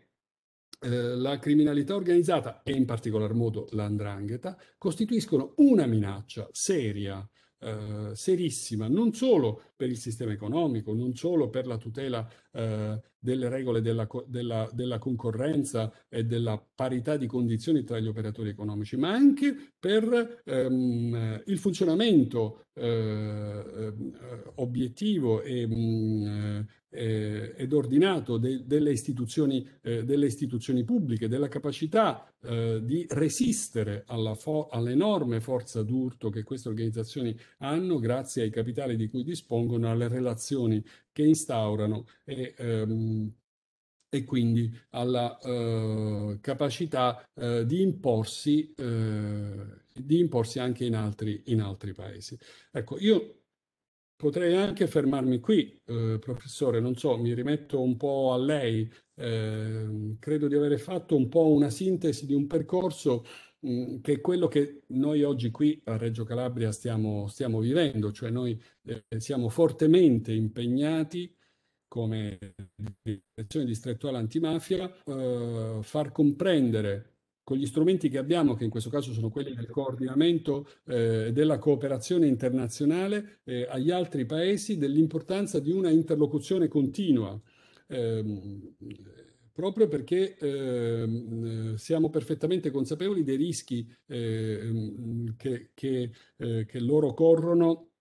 eh, non eh, agendo tempestivamente nei confronti di questi fenomeni. Chiudo con una battuta. Eh, nel 2019, se non ricordo male, nel corso di un incontro eh, presso la sede dell'AIA di Eurojust, eh, un collega, mh, mm, il chairman di quella occasione, che era un collega eh, olandese, si rivolse a noi dicendo cari colleghi italiani, siamo felici eh, di potervi ospitare qui eh, all'AIA e siamo a vostra disposizione per tutto ciò che possiamo fare per voi. Eh, io ho esordito forse un po' eh, troppo sarcasticamente dicendo guardate che siamo noi che possiamo fare qualcosa per voi, perché siete voi che avete dei problemi in questo momento. Eh, e cominciai a elencare una serie di criticità, eh, soprattutto per esempio in quel caso la presenza di numerosi latitanti eh, calabresi, di broker calabresi che avevano scelto l'Olanda sostanzialmente come porto franco. E quindi ehm, e quella fu l'occasione, anche poi arrestammo questi latitanti, eh, alcuni davvero particolarmente pericolosi, alcuni collegati anche alla strage di, di Duisburg, eh, eh, ma che circolavano liberamente senza alcun tipo di, eh, di, controllo e di azione investigativa da parte eh, delle autorità locali, nonostante le nostre segnalazioni. Ecco, quindi se, se anche da parte degli operatori di, di, quei paesi non vi è la consapevolezza che il eh, pericolo eh, è al loro interno, noi rischieremo pur sempre di di colpire ecco, solo una parte del segmento e, eh, e, perdere di vista la possibilità di aggredirlo nella sua complessità. Mi fermo qua per adesso. Grazie. Eh, le, dire, le, le, facciamo un applauso virtuale, visto che speriamo poi di poter ripetere in presenza. No, io la ringrazio molto, è stata una, eh, una ricostruzione eh, dire, giudiziaria della, eh, della, rispetto all'andrangheta che eh, a mio modo di vedere ha due, eh, due, due, due, aspetti che ho apprezzato. È l'ottica comparata che, che spesso ha utilizzato per osservare l'andrangheta rispetto a, a Cosa Nostra e poi eh, quest'ottica storica, ecco, sempre eh, calata anche nel, eh, per quanto possibile, insomma, nel tempo di suizione nel contesto. Questo è molto importante, no? Ci ha fatto capire che anche eh, l'evoluzione di, di, queste organizzazioni criminali eh, seguono eh, processi di trasformazione che riguardano il mondo sociale, l'economia, la politica, la stessa azione di contrasto e a sua volta la stessa azione di, di contrasto ha eh, molto a che fare con eh, eh, quello che accade, insomma, non, non si muove nel, nel vuoto. Ha, eh, ha, ricordato un po' le indagini più importanti, Olimpia, Crimine Infinito. Mi, mi piace ric- ricordare che quest'anno è il decennale anche di un'altra operazione per quanto riguarda il Piemonte, Minotauro, che è un'operazione eh, no, in gran parte gemella Crimine Infinito, eh, perché ha scoperto in Piemonte le, la, la, la, struttura in locali della, della, dell'andrangheta. E se posso fare eh, tre piccoli eh, tre piccole sottolineature e poi qualche domanda, ma lasciando poi anche spazio al, agli altri eh, uditori. Um, una cosa che mi ha colpito e che non è, come forse sa, almeno tra gli studiosi, è eh, oggetto di, eh, di, dibattito, è che lei nel um, illustrarci il momento in cui l'andrangheta eh, avverte l'esigenza di eh, dotarsi di una struttura di coordinamento e quindi di un modello interorganizzativo che poi verrà accertato a livello eh, giudiziario appunto dalla, da crimine, dall'operazione crimine e da, da altre che si susseguono nel tempo, lei sembra collocare, come dire, storicamente, cioè un, una cosa importante dal punto di vista storico-sociologico è che eh, lei dice ad un certo punto l'andrangheta avverte questa esigenza eh, per quanto c'erano dei momenti diciamo unitari e si dota di questa struttura o non l'abbiamo approfondita o scopre questa struttura che magari era, eh, ehm, eh, era esistita in passato, insomma su questo potremmo eh, fare così. Come sa, c'è un altro tipo di narrazione che vuole un po' forse da, da studiosi, eh, che eh, racconta la stessa storia, ma eh, in un ordine un po' diverso. Eh. Crimine avrebbe eh, portato in evidenza, avrebbe ehm, fatto emergere l'esistenza di questa struttura unitaria eh, che, che, lei a mio modo giustamente non ha enfatizzato molto come unitaria, eh, ma come struttura di coordinamento, eh, che naturalmente prevede una, una, sua unitarietà, ma ha utilizzato, mi pare, di più, eh, come dire, altri termini, l'avrebbe portato alla luce come eh, un modello, come dire, che è sempre esistito, ma che fino allora non era, uh, uh, non era emerso, non era uscito uh, non è uscito fuori. Sono due, come dire, l'esito e se vogliamo poi a livello giudiziario forse non cambia granché, sulle dinamiche evolutive, storiche, sociologiche dell'andrangheta invece la differenza non è piccola. Eh? Se eh, questa è una struttura, come dire, sempre attiva, eh, che ad un certo punto viene scoperta dagli investigatori, o se è una struttura che eh, è stato oggetto di dibattito, di confronto all'interno delle consorterie criminali, ma che ad un certo punto era stata poi formalizzata, eh, con quando si scopre il capocrimine, eccetera. Sono due cose eh, un po' eh, diverse, molto interessanti dal punto di vista, non lo so se per lei, ma dal punto di vista di chi fa, fa analisi, di chi studia queste... Mh, eh, dinamiche. L'altro, la, la, l'altro, aspetto che mi ha incuriosito molto, che quasi è stato un lapsus nella sua... Eh, quando ha detto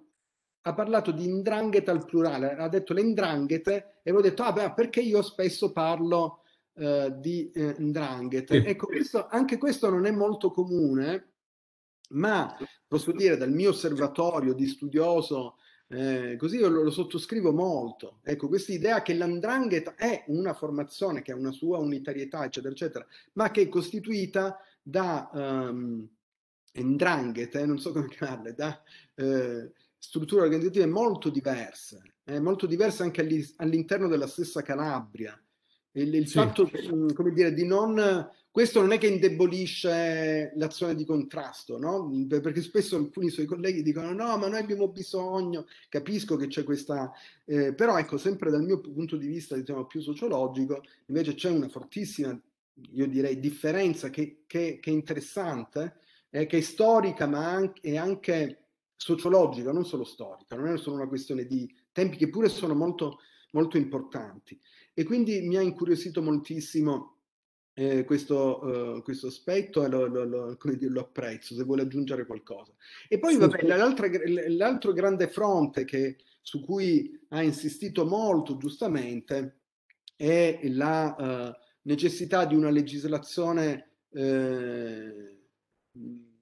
appropriata, efficace anche in altri paesi e auspichi, auspicabilmente almeno a livello europeo, di Unione eh, Europea. A questo proposito volevo chiedergli la neonata cosiddetta Procura Europea eh, ha dei, come dire, è stata salutata come un, gras- un, grande passo in avanti, così lei che giudizio ne dà? E comunque le cose sono un po' cambiate negli ultimi anni, eh, anche ieri il dottor Gatti diceva rispetto al vecchio modello delle erogatorie, anche lui diceva non funziona perché sono delle cose rispetto alle esigenze che abbiamo, così mentre dava un giudizio un po', un po più positivo delle squadre investigative comuni. Lui diceva la, la direzione dovrebbe essere quella eh, di una vera e propria cooperazione anche a livello eh, investigativo. Ecco, lei cosa pensa di... Eh, di questo. Non, eh, io mi fermerei qui perché avrei tante domande, ma come al solito poi rischio di sovrastare. Eh, non, ehm, vogliamo raccogliere anche altre domande o vuole rispondere? Come preferisce? Intanto posso rispondere, magari poi eh, possono aggiungersi anche altre domande. Chiaro che io mi sono limitato a come dire, introdurre eh, una serie di elementi essenziali eh, per così creare una piattaforma anche per un, per un dibattito, necessariamente dovendo tralasciarne altri. Per esempio, eh, e così rispondo alla prima, alla prima domanda, quando mh, mm, dice l'andrangheta, cioè la struttura eh, di cui l'andrangheta via via si è dotata, ehm, è sempre esistita. Sì, è vero, però ehm, diciamo che eh, questa struttura non è sempre stata immanente, cioè noi dobbiamo eh, distinguere eh, tutto quell'apparato di regole che eh, normalmente viene collocato ehm, nell'ambito del rituale di affiliazione di riconosci- e di riconoscimento ehm, e delle cariche che si eh, eh, che, si, che vengono distribuite all'interno uh, dei gruppi uh, ndranghetistici uh, dalla struttura che mette in relazione i gruppi ndranghetistici in quanto tali. Sono due cose diverse. Ora, mentre l'apparato ehm, di, di, di, reclutamento e poi di riconoscimento, ehm, che peraltro nel tempo ha anche sviato eh, la conoscenza del fenomeno perché l'ha fatto apparire soltanto come una sorta di eh, orpello folcloristico e arcaico eh, di relazioni nell'ambito di società ancora tutto sommato tribali che non avevano conosciuto un livello di civilizzazione adeguato. Mm, in realtà ehm, quello che a me interessa evidenziare è che eh, l'andrangheta o i gruppi di indrangheta ehm, a un certo punto sono obbligate ehm, creare eh, degli elementi di collegamento tra di loro per evitare che ehm, di, di, rimanere eh, sostanzialmente costretti in una condizione di eh, conflittualità permanente. Ed è quanto, eh, per esempio, decidono di fare alcune grandi famiglie eh, della, della, fascia tirrenica, mi riferisco per esempio ai Piromalli, con quelle della fascia ionica, mi riferisco ai Nirta e eh, a quelle del centro, in particolar modo ai De Stefano, ehm, nel momento in cui c'è da eh, gestire i flussi di spesa pubblica che derivano, per esempio, per le grandi opere infrastrutturali di cui ho parlato prima, oppure, come emerge nell'ambito di un altro procedimento eh, in corso che potrebbe, quando eh, il relativo provvedimento diverrà definitivo, essere in qualche modo considerata la terza fase evolutiva dopo dopo Olimpia e eh, Crimine Infinito, mi riferisco a Gota, il procedimento noto qui come, eh, come Gota, cioè quel procedimento che ehm, mette in evidenza come per eh, ehm, eh condizionare eh, i flussi che a Reggio Calabria eh, deriva, de, derivavano, dovevano derivare dallo Stato centrale per il cosiddetto decreto Reggio, eh, un decreto ehm, adottato per eh, finanziare interventi infrastrutturali per la provincia di Reggio Calabria e che eh, vedeva la compartecipazione eh, delle grandi famiglie di indrangheta di tutta la provincia, quelle che ho prima citato proprio in una funzione preventiva per dirimere eventuali contrasti e accordarsi sulle modalità di gestione. Ebbene, in corrispondenza di tutto questo, via via noi abbiamo avuto eh, diversi livelli eh, di tipo decisionale che nati diciamo su una base eh, all'inizio informale, poi sono stati formalizzati. Mi riferisco per esempio alla, cos alla cosiddetta Santa, cioè a quella eh, struttura ehm, che aveva il compito esclusivamente di eh, eh, stabilire le eventuali eh, sanzioni per eh, le violazioni più gravi commessi dagli appartenenti all'organizzazione e per e per gestire le relazioni con le, le, organizzazioni che operavano fuori dal rispettivo territorio. Mi riferisco alla struttura dei cosiddetti invisibili, cioè eh, di soggetti appartenenti ehm, ad altri ambiti relazionali che non a quelli indranghetistici, da un lato la massoneria, dall'altro le, le, professioni, ma anche gli appartenenti ehm, eh, alle forze dell'ordine, al sistema di contrasto che hanno avuto rapporti eh, diciamo, dalla, dall'ordinario con la criminalità organizzata. Mi riferisco in particolare, ecco, mh, vorrei citare anche un dato investigativo eh, sicuramente di vostra conoscenza, ad una eh, espressione che utilizzò nel 2010 eh, Pantaleone Mancuso, detto Vetrinetta, quando ad un certo punto, parlando con un suo sodale, eh, con eh, eh, pochissime espressioni estremamente efficaci, eh, certamente molto più efficaci del discorso che eh, stamattina vi ho fatto io, ha delineato proprio eh, l'evoluzione storica dell'andrangheta. E ha detto a questo suo sodale, vedi, un tempo c'era l'andrangheta, l'andrangheta, ehm, all'andrangheta appartenevano le famiglie per bene, le famiglie della borghesia o comunque del latifondo calabrese. Eh, in realtà oggi l'andrangheta Um, è, è, fatta soltanto per questi quattro storti, cioè per quelli che ancora pensano uh, di, eh, e si illudono di poter avere un posto nella società semplicemente perché seguono dei rituali. Ma oggi l'andrangheta è nella massoneria, quella che conta è la massoneria. Queste parole, che fanno parte uh, di un'intercettazione che agli atti del processo Rinascita Scott di, uh, che, si, che, si, celebra in questo momento davanti al Tribunale eh, di Lamezia Terme, eh, nella loro semplicità, ma anche nella loro essenzialità, mettono in evidenza proprio mh, la capacità dell'andrangheta, come ha detto anche qualcuno, di essere liquida, cioè di sapersi adeguare alle situazioni storiche contingenti per mantenere inalterata sua, uh, il suo uh, protagonismo. Uh, è vero, i rituali oggi ancora ci sono, noi lo vediamo, dalle indagini emergono, emergono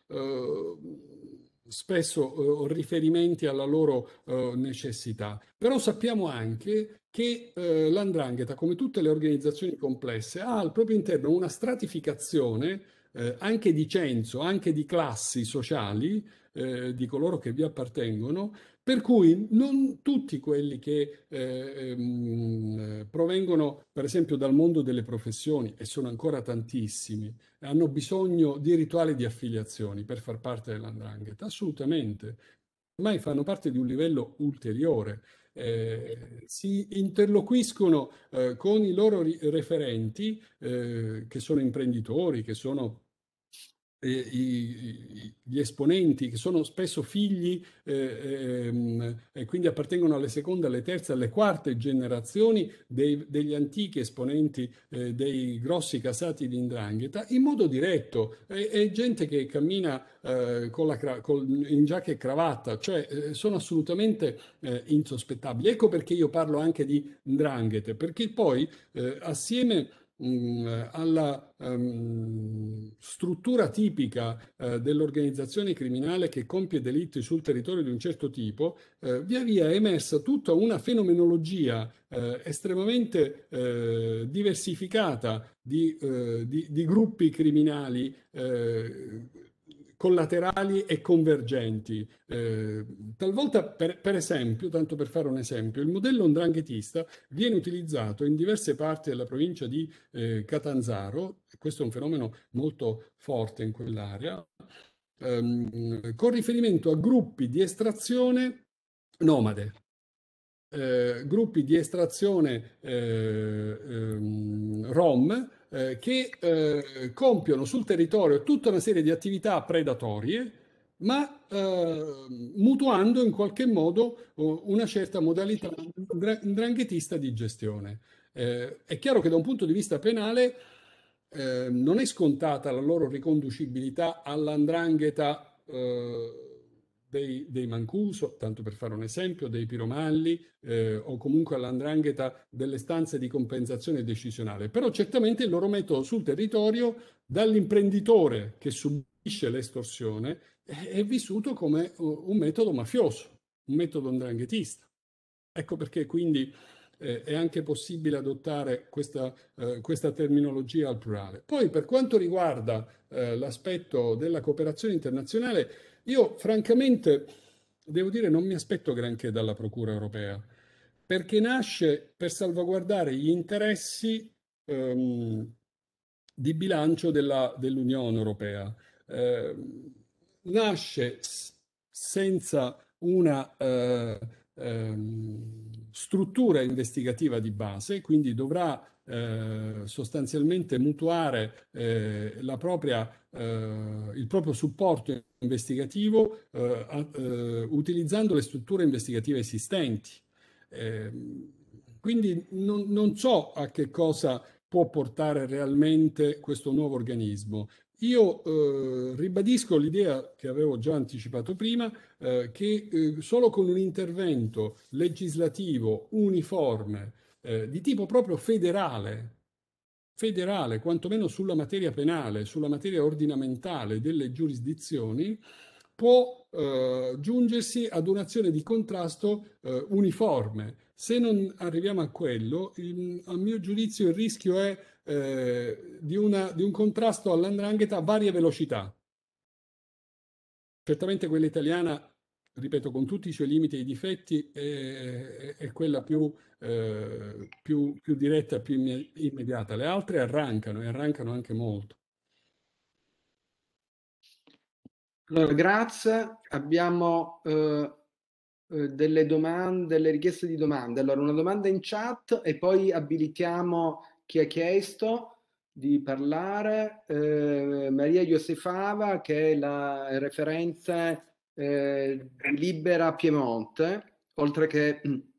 eh, componente dell'ufficio di presidenza di Libera Nazionale. Grazie Maria Iosai di essere qui con noi. Poi c'è un, uh, allora, uno studente subito dopo, Billy, eh, ma in chat uh, un, uno dei nostri studenti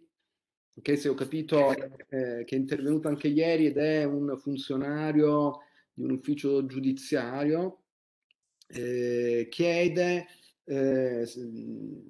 riassumo io, se il, i rapporti che sono stati provati nelle aree non tradizionali del nord tra eh, diciamo eh, Ndrangheta casa madre e eh, per così dire filiali in altri territori sono dei rapporti eh, è stato provato che siano continuativi oppure eh, di tipo episodico, no? legate a circostanze, immagino volessi dire di tipo affaristico ehm,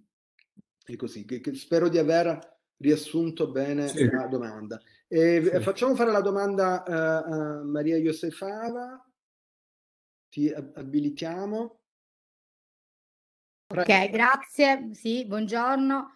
Buongiorno dottore, ci siamo incrociati in qualche formazione di Libera, in qualche momento anche con la nostra Insarando, con Don Luigi, in varie occasioni. Io la ringrazio, trovo interessantissimo l'argomento e il suo approfondimento. Io da fare una domanda forse un po' ingenua, mi scusi, però è, è una domanda che ci facciamo spesso al nord. Lei prima, proprio in questo ultimo suo passaggio, parlava di, eh, di, di andranghete al plurale, eh, parlava dei rapporti che si sono costruiti con la massoneria. Noi come Libera siamo costituiti parte civile in entrambi i, proge- i processi importanti che si stanno celebrando adesso in Calabria e quindi appunto processi che ci danno un'idea dell'andrangheta in maniera più ampia nei rapporti con la massoneria, con la politica, con le istituzioni, con l'imprenditoria. Guardando per la mia conoscenza, che sicuramente è limitata, al nord e al Piemonte, per esempio, da Minotauro, quindi dieci anni fa, a tutte le operazioni che ci sono state dopo, che sono state tante. L'ultima è questa operazione che si chiama Platinum Dia di un mese fa, che ha riguardato proprio il Piemonte la Germania, ha riguardato i ristoranti. Lei prima faceva un passaggio su questo.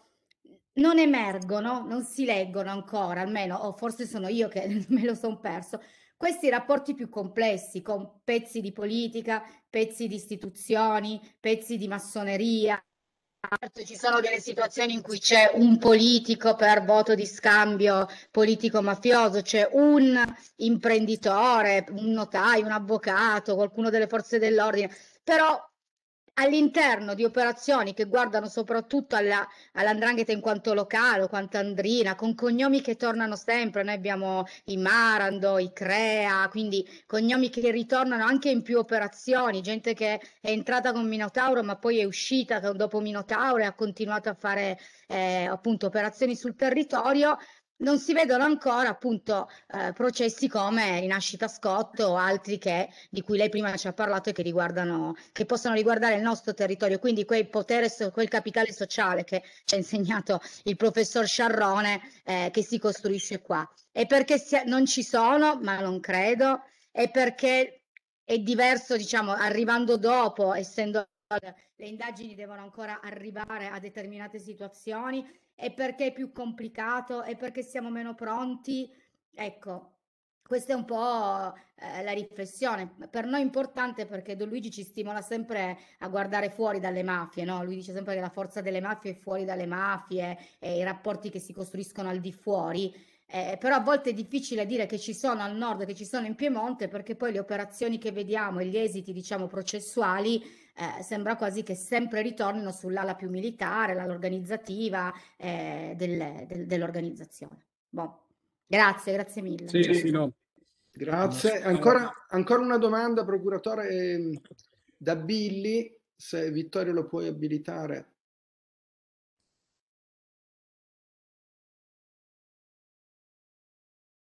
Buongiorno. Buongiorno. Sì, io avrei più di una domanda, dottor Pace. Allora, innanzitutto volevo capire, l'andrangheta viene riconosciuta come tale nel 2010, no? Non si sente bene. Non si sente ah, bene. Si sente bene. 2010, e prima non si poteva, non si no, e poi... Si sente? Scusi, non si sente bene. Non si sente bene. Si sente ora? Si sente? Adesso forse provi? Mi sente adesso, professore? Sì, adesso sì. Okay. ok, no, allora ripeto. La prima domanda era, mh, mm, era questa. Si è dovuto aspettare fino al 2010 per scoprire l'andrangheta inserita nel 416 bis. Eh, prima non si è potuto? Cioè, perché prima non si è potuto? Non si è potuto scoprire prima? Non ci sono stati nessuna no? nessun modo per scoprire prima una tale organizzazione con tale potenza? La, la mia prima mh, domanda. La seconda domanda che volevo porre era mh, perché i paesi europei non si danno una svegliata? Cioè, nel senso, in Germania c'è l'andrangheta, perché la Germania, cioè, comunque la mafia, il fenomeno mafioso calabrese in generale è riconosciuto. Perché i, questi paesi non si danno una svegliata e dicono, vabbè, creiamo questo ordinamento effettivo di contrasto concreto? E perché secondo lei non lo fanno? E la terza, la terza domanda che è più un'opinione che ho fatto, che ho chiesto anche al dottor Gattieri, cosa ne pensa del fenomeno brusca dello scagionamento. Grazie, grazie mille. Brusca. Sì. Grazie. Se non ci sono altre Io domande... rispondo quando vuole, professore. Sì, sì, eh, prego, risponda.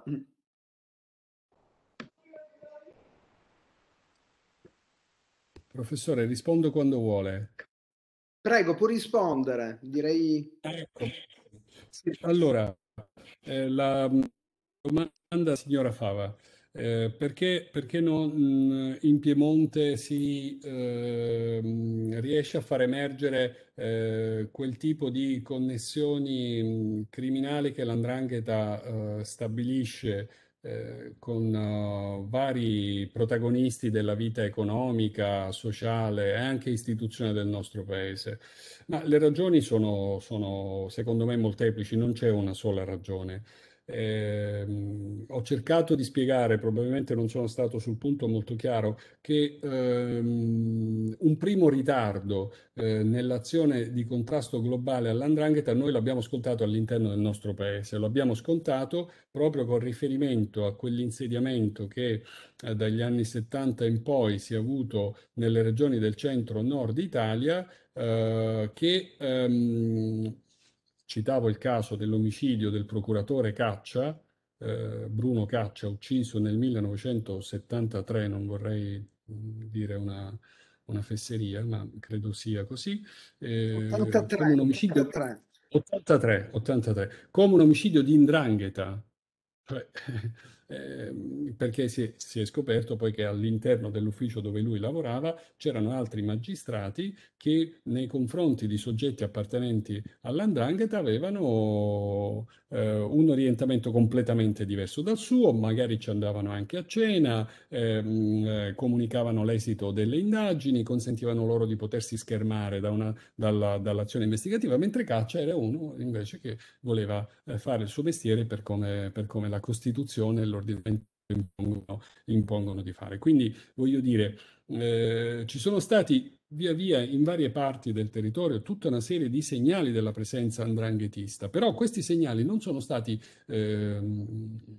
colti, non sono stati poi sviluppati, eh, non hanno avuto eh, quell'esito che al di là di singoli specifici fatti ehm, hanno consentito eh, di arrivare ad una mh, ricostruzione eh, eh, di sistema. La prima ricostruzione di sistema dell'andrangheta in Piemonte arriva soltanto con eh, Minotauro, cioè a distanza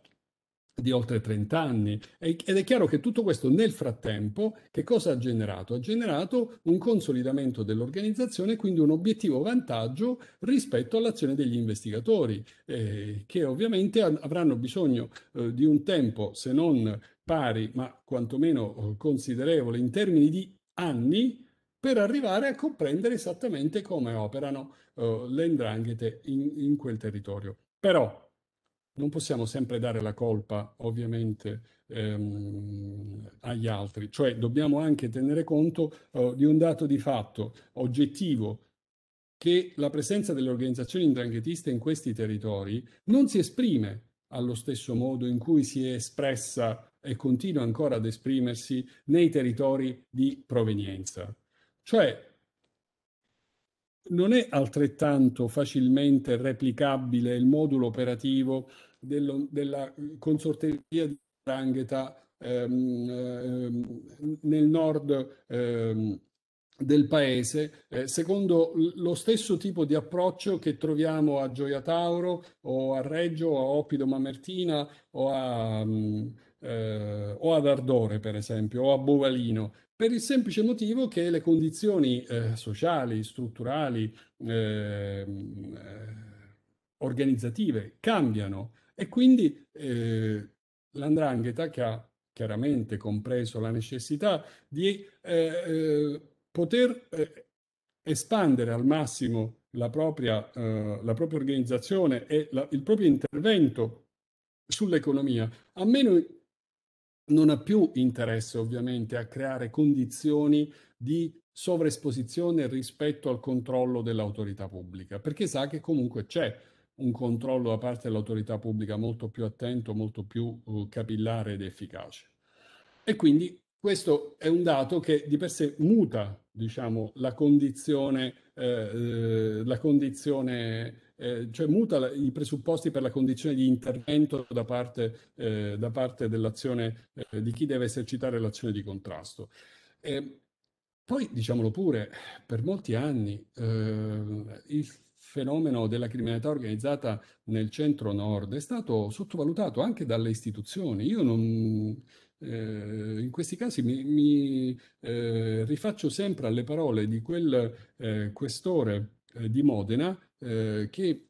pochi anni or sono eh, disse che eh, in quel territorio non c'era la, la criminalità organizzata, non c'era l'andrangheta. Ehm,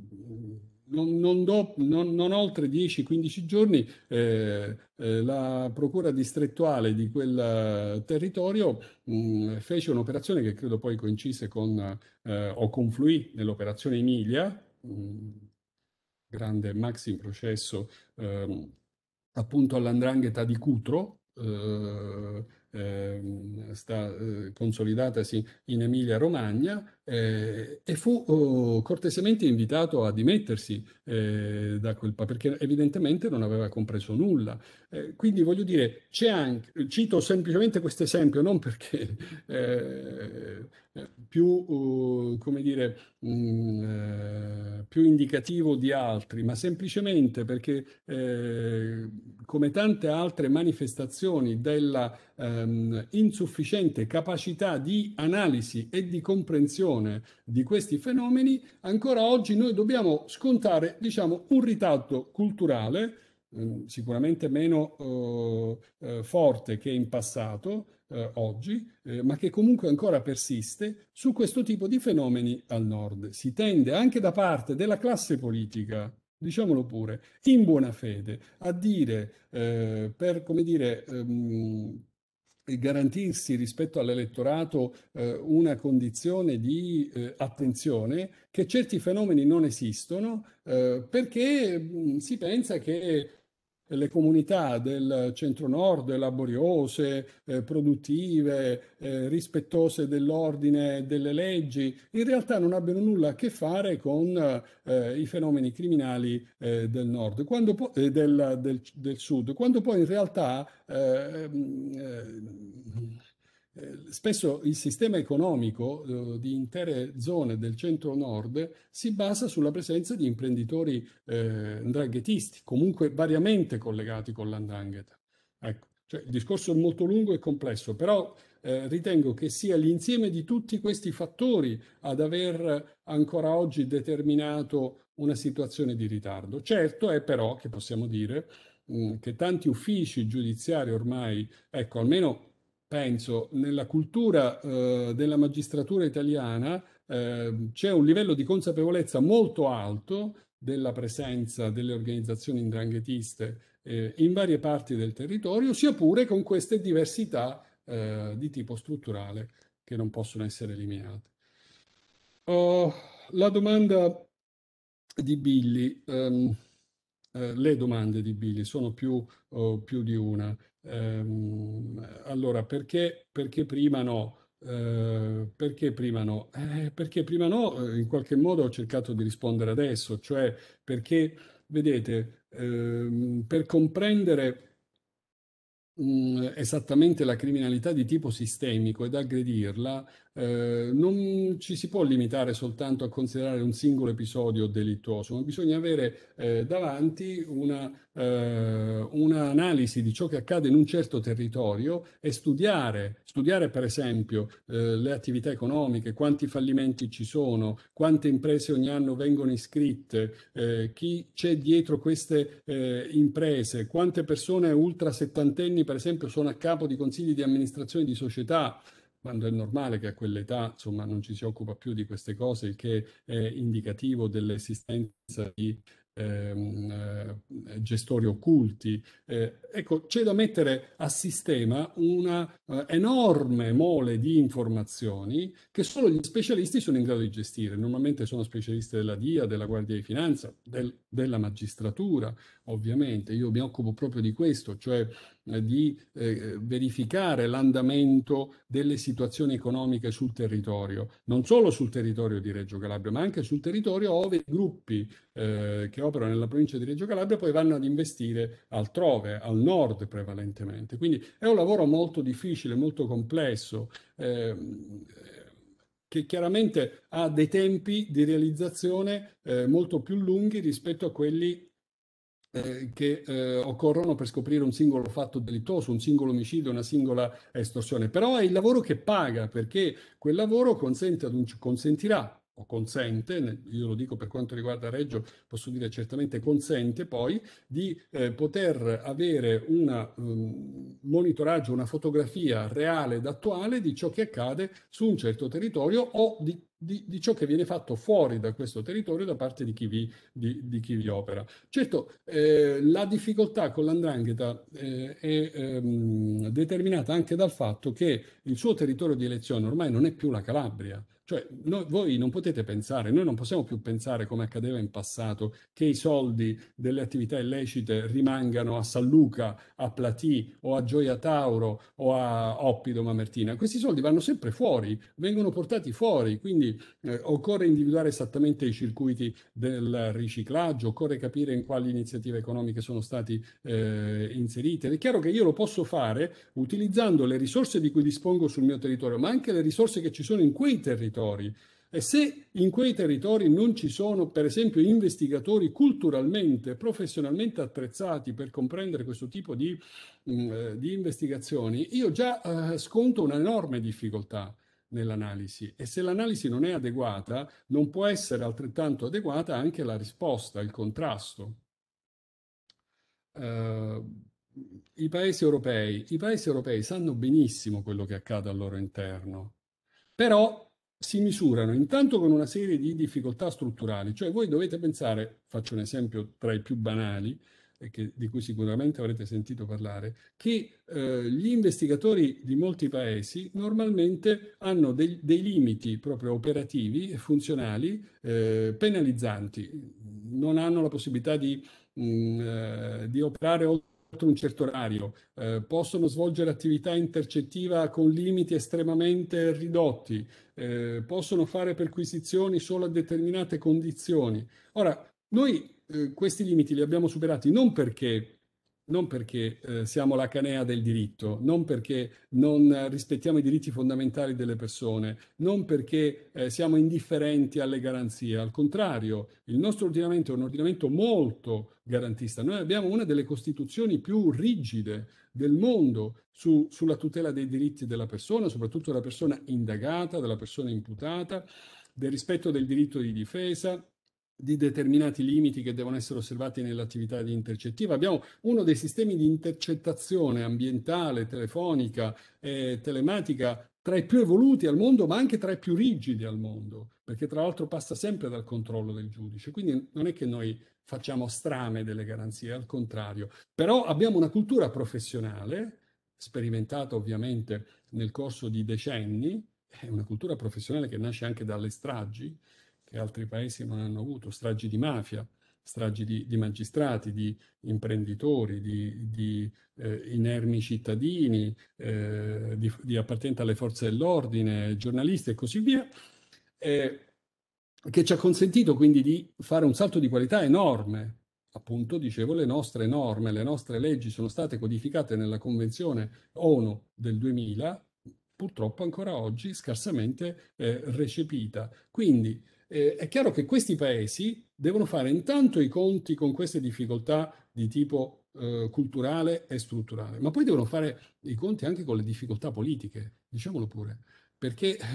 così come vale per l'amministratore del nord, del Veneto, della Bergamasca dire no, qui non c'è la mafia, questo è un territorio pulito, gli imprenditori sono persone per bene che operano per il profitto, però rispettando le regole. Anche loro sanno che se si cominciano a toccare certi settori economici, certi segmenti del, ehm, di mercato, eh, si rischia di buttare giù eh, buona parte delle attività produttive. In fondo, il caso che vi ho raccontato della Slovacchia è proprio questo. Cioè, il manovratore ndanghetista per oltre vent'anni ha fatto tutto quello che eh, voleva fare indisturbato e nessuno mai gli ha chiesto conto. Solo l'omicidio di quei poveri ragazzi ha fatto emergere questa realtà, altrimenti noi ancora oggi eh, delle cosche Rodà e Vadalà eh, che operano in Slovacchia non sapremo nulla, o meglio, noi, noi lo sappiamo perché, perché perché abbiamo, tra l'altro abbiamo raccolto elementi, fatto indagini, abbiamo anche mandato eh, diversi anni fa, ormai quasi dieci anni fa, una serie di informazioni che non sono state mai sviluppate. Però l'opinione pubblica penserebbe che la, la Slovacchia sia semplicemente il paese delle belle ragazze, tanto per dire, no? Non certo eh, una, uno, una, una, una enclave eh, di indrangheta nel cuore, nel cuore dell'Europa. Per cui c'è anche da affrontare una problematica di tipo politico, perché eh, questo un po' come, dici, come ha sempre detto il mio eh, professore di diritto penale Giovanni Fiandaca, cioè la legalità è un bellissimo concetto, sta scritto nella Costituzione, però poi nel concreto si declina eh, cercando di valutare le compatibilità. Allora lui dice giustamente, noi non possiamo più parlare di legalità to cure, ma dobbiamo parlare di legalità possibile di legalità sostenibile, cioè di, quanta, di, quanto, eh, di quale sia il tasso di legalità che ciascun paese ritiene di aver bisogno. Nemmeno perché si rischia il caos sociale, soprattutto il caos economico ed istituzionale, né di più perché eh, alzare troppo l'asticella della legalità rischia di rompere tutta una serie di equilibri e di creare ulteriori caos. Sono discorsi complessi, me ne rendo conto, però bisogna avere anche, come dire, questo tipo di, eh, ehm, di visione. Per quanto riguarda il caso Brusca, eh, io posso dire questo, cioè che Brusca eh,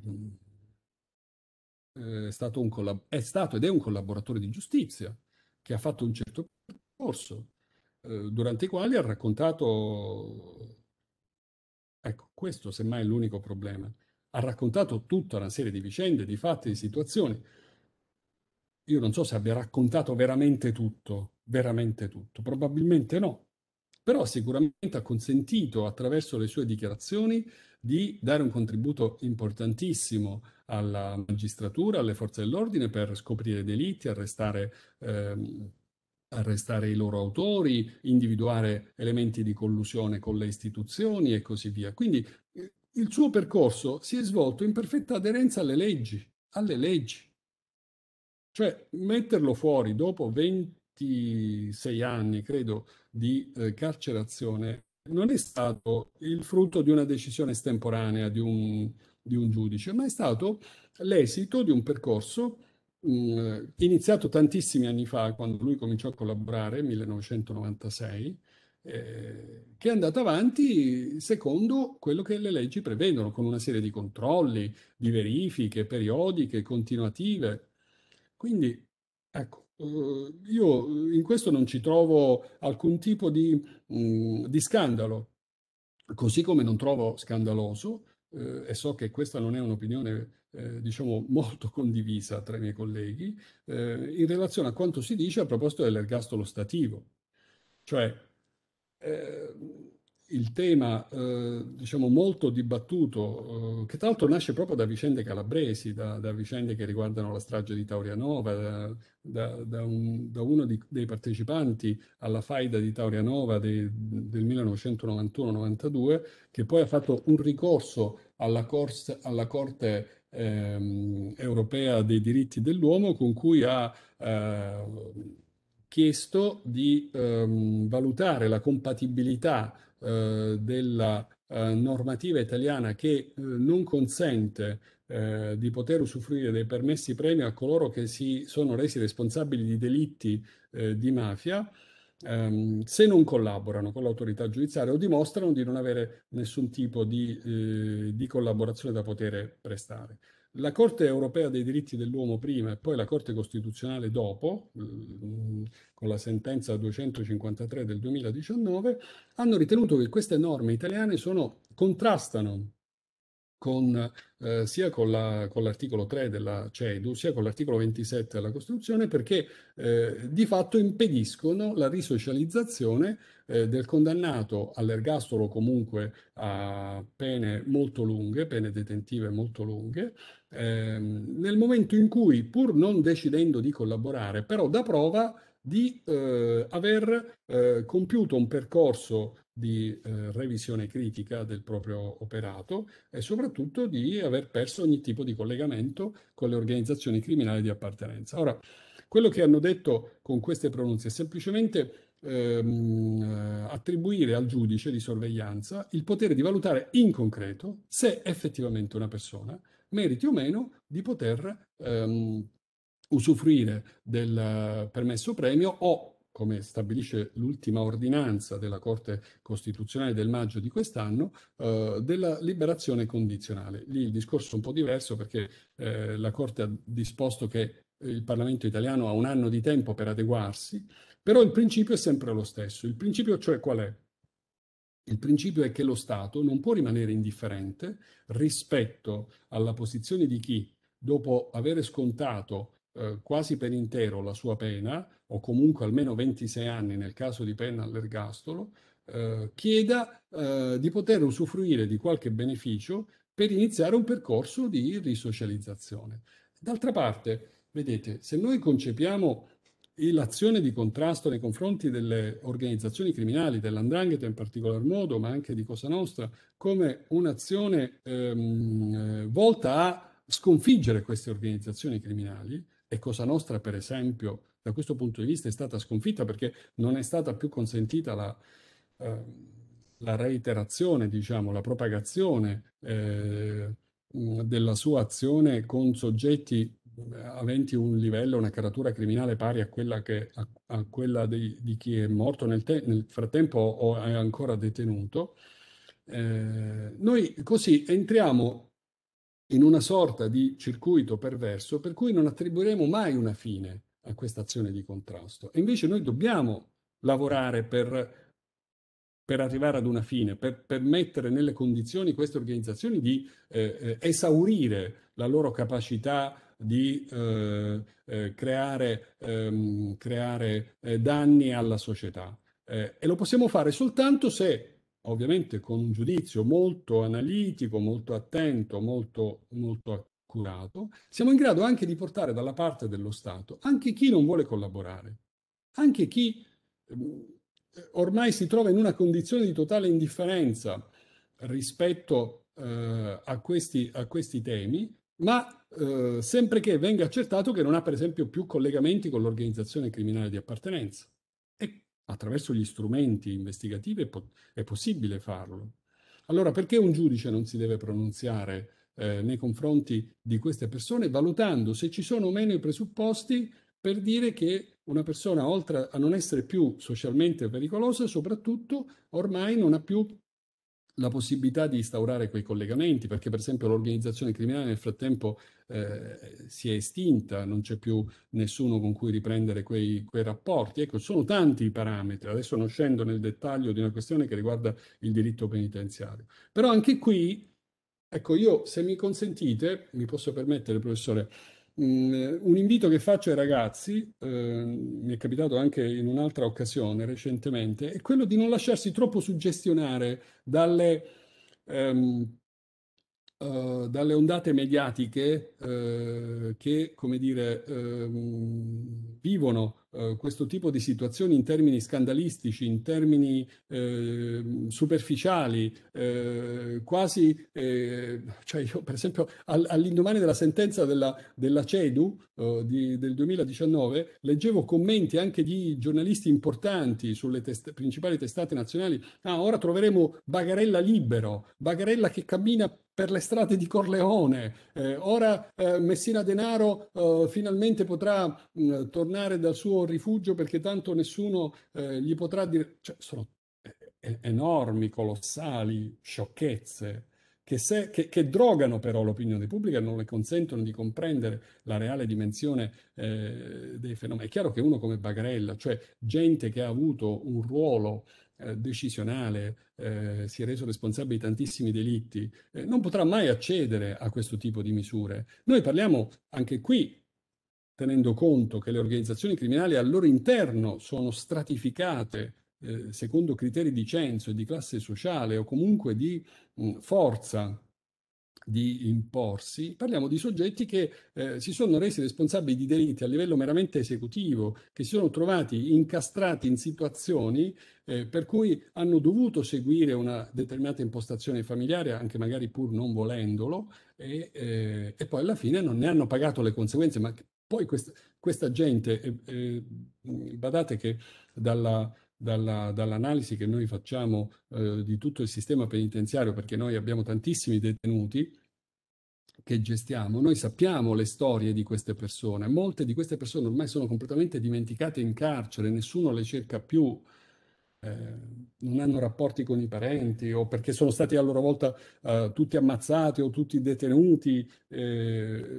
hanno perso ogni collegamento. Cioè tenere questa gente in carcere dopo, ripeto, un certo periodo, normalmente 26 anni, può anche non avere più senso. Può, anche, può avere senso a quel punto, ripeto, con un'attività mirata, specifica, sottoposta a controlli, eh, far sì che queste persone negli ultimi anni della loro vita magari si impegnino in organizzazioni di volontariato, eh, diano in qualche modo si sforzino di dare, ehm, alla, di restituire alla società anche in modo simbolico eh, una parte del debito enorme, che lo, è forse inestinguibile, perché soprattutto quando si tratta di delitti è sicuramente inestinguibile, hanno contratto. Ecco, bisogna avere un po' un approccio meno massimalistico, meno scandalistico, meno, ecco, meno conformismo. Purtroppo c'è molto conformismo in questa, in questa materia, quella che riguarda i collaboratori di giustizia, quella che riguarda l'ergastolo stativo, quella che riguarda in genere l'esecuzione della pena. Però per questo ci vorrebbe un altro master. Grazie, procuratore, anche per queste eh, ultime riflessioni molto importanti, eh, eh, sì, su cui si potrebbe discutere a lungo, però io penso, sono d'accordo con lei, lui lo sa che mi conosce, che per, per l'antimafia oggi ha bisogno di meno conformismo, che non significa eh, porsi nuove domande, porsi, ripensarsi, no? È un percorso che eh, molte realtà eh, stanno facendo e quindi porsi anche delle domande scomode, non avere già le, tutte le risposte eh, definite pronte, no? Non andare avanti in modo inerziale. Eh, eh, bisogna anche un po' eh, consapevoli del fatto, lo dico io che mi occupo di, di altre cose, che la, la battaglia ehm,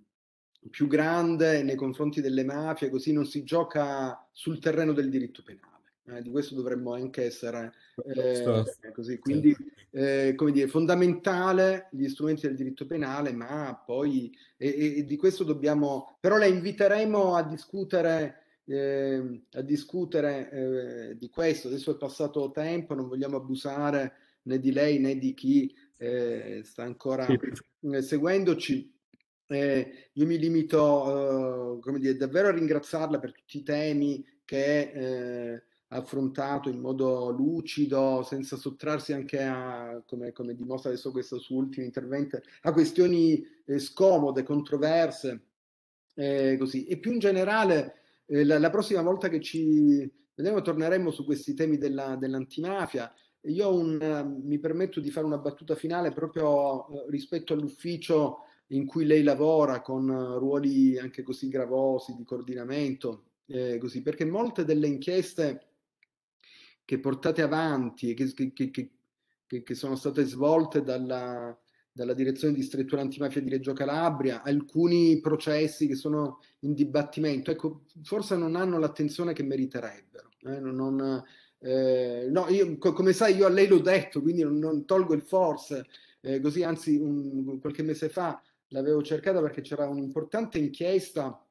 eh, sulla sanità in Calabria ed ero rimasto molto sorpreso, eh, di cui, che aveva coordinato lei peraltro, ero rimasto molto sorpreso di questo scollamento, no? in un momento in cui la sanità è sotto i riflettori per la pandemia e poi quella calabrese in modo particolare è stato oggetto di eh, talk show, dibattiti, così, c'è un'inchiesta eh, che eh, porta alla luce, anche se è nata prima, ma porta alla luce, eh, come dire, elementi che ci permettono di capire perché quel sistema funziona o non funziona in un certo modo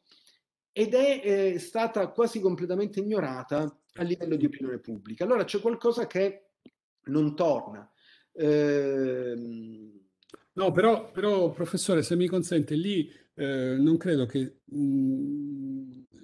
ci si possa esimere dal mettere in evidenza come anche la, eh, vi sia una grossa responsabilità da parte del sistema mediatico complessivo dell'informazione, eh, quindi mediatico, eh, nel eh, veicolare all'opinione pubblica ehm, eh, i, messaggi che arrivano dalle inchieste. Per carità, le inchieste sono inchieste, non sono sentenze, possono poi essere confermate le sentenze oppure no. Però quando un'inchiesta mette in luce un aspetto ehm, eh, della, delle strutture che le organizzazioni criminali creano all'interno della società, soprattutto con riferimento a,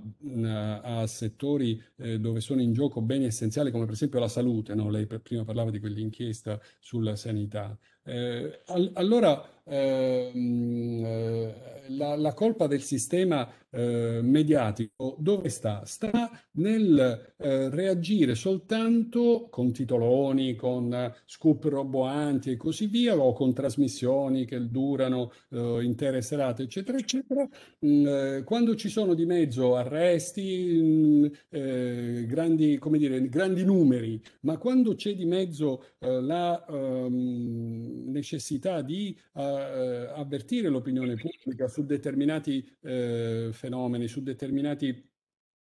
eh, guasti, eh, al di là, diciamo, ecco, oh, delle quantità, dei numeri, eh, io vedo che da parte del servizio eh, così eh, eh, mediatico, sia pubblico che privato, non c'è la stessa attenzione, si fa fatica,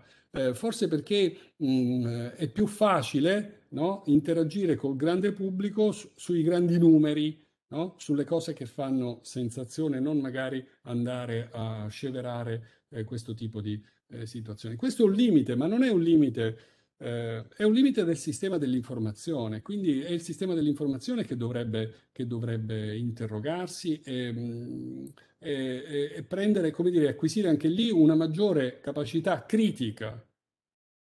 e non limitarsi semplicemente a fare da gran cassa rispetto eh, rispetto a situazioni eh, che sono sì eh, importanti, ma che in realtà poi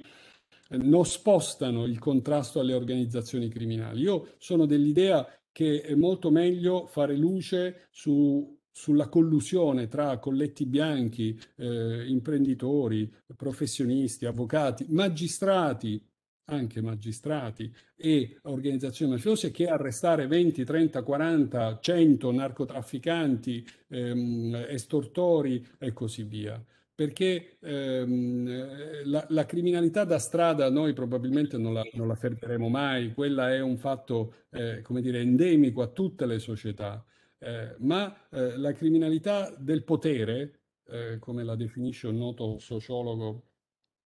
palermitano che insegna a Londra, Vincenzo Ruggero, eh, la criminalità del potere, la, la, la, criminalità dei potenti rispetto alla criminalità dei, eh, eh, dei poveri è quella che, che, crea più danni alla società ed, ed, a quella noi dobbiamo guardare.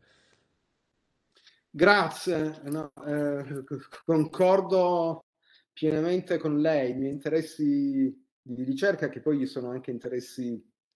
che hanno risvolti diciamo, civici, politici, non so come chiamarli. Comunque io la, la ringrazio davvero tantissimo. Grazie a voi. Eh, speriamo di, speriamo di riaverla tra di noi, magari riusciamo anche ad invitarla di persona, mi piacerebbe moltissimo, eh, però noi ci risentiremo. Eh, davvero grazie a nome di, di, di, tutti e saluto anche tutti i partecipanti che sono rimasti eh, con noi eh, per adesso. Poi i corsisti, con i corsisti ci vedremo tra un'ora perché mi, oggi ho lezione per, nel master, quindi io andrò avanti. Bene. Eh, arrivederci. Grazie ancora per l'occasione. E grazie, grazie davvero. Grazie. Arrivederci.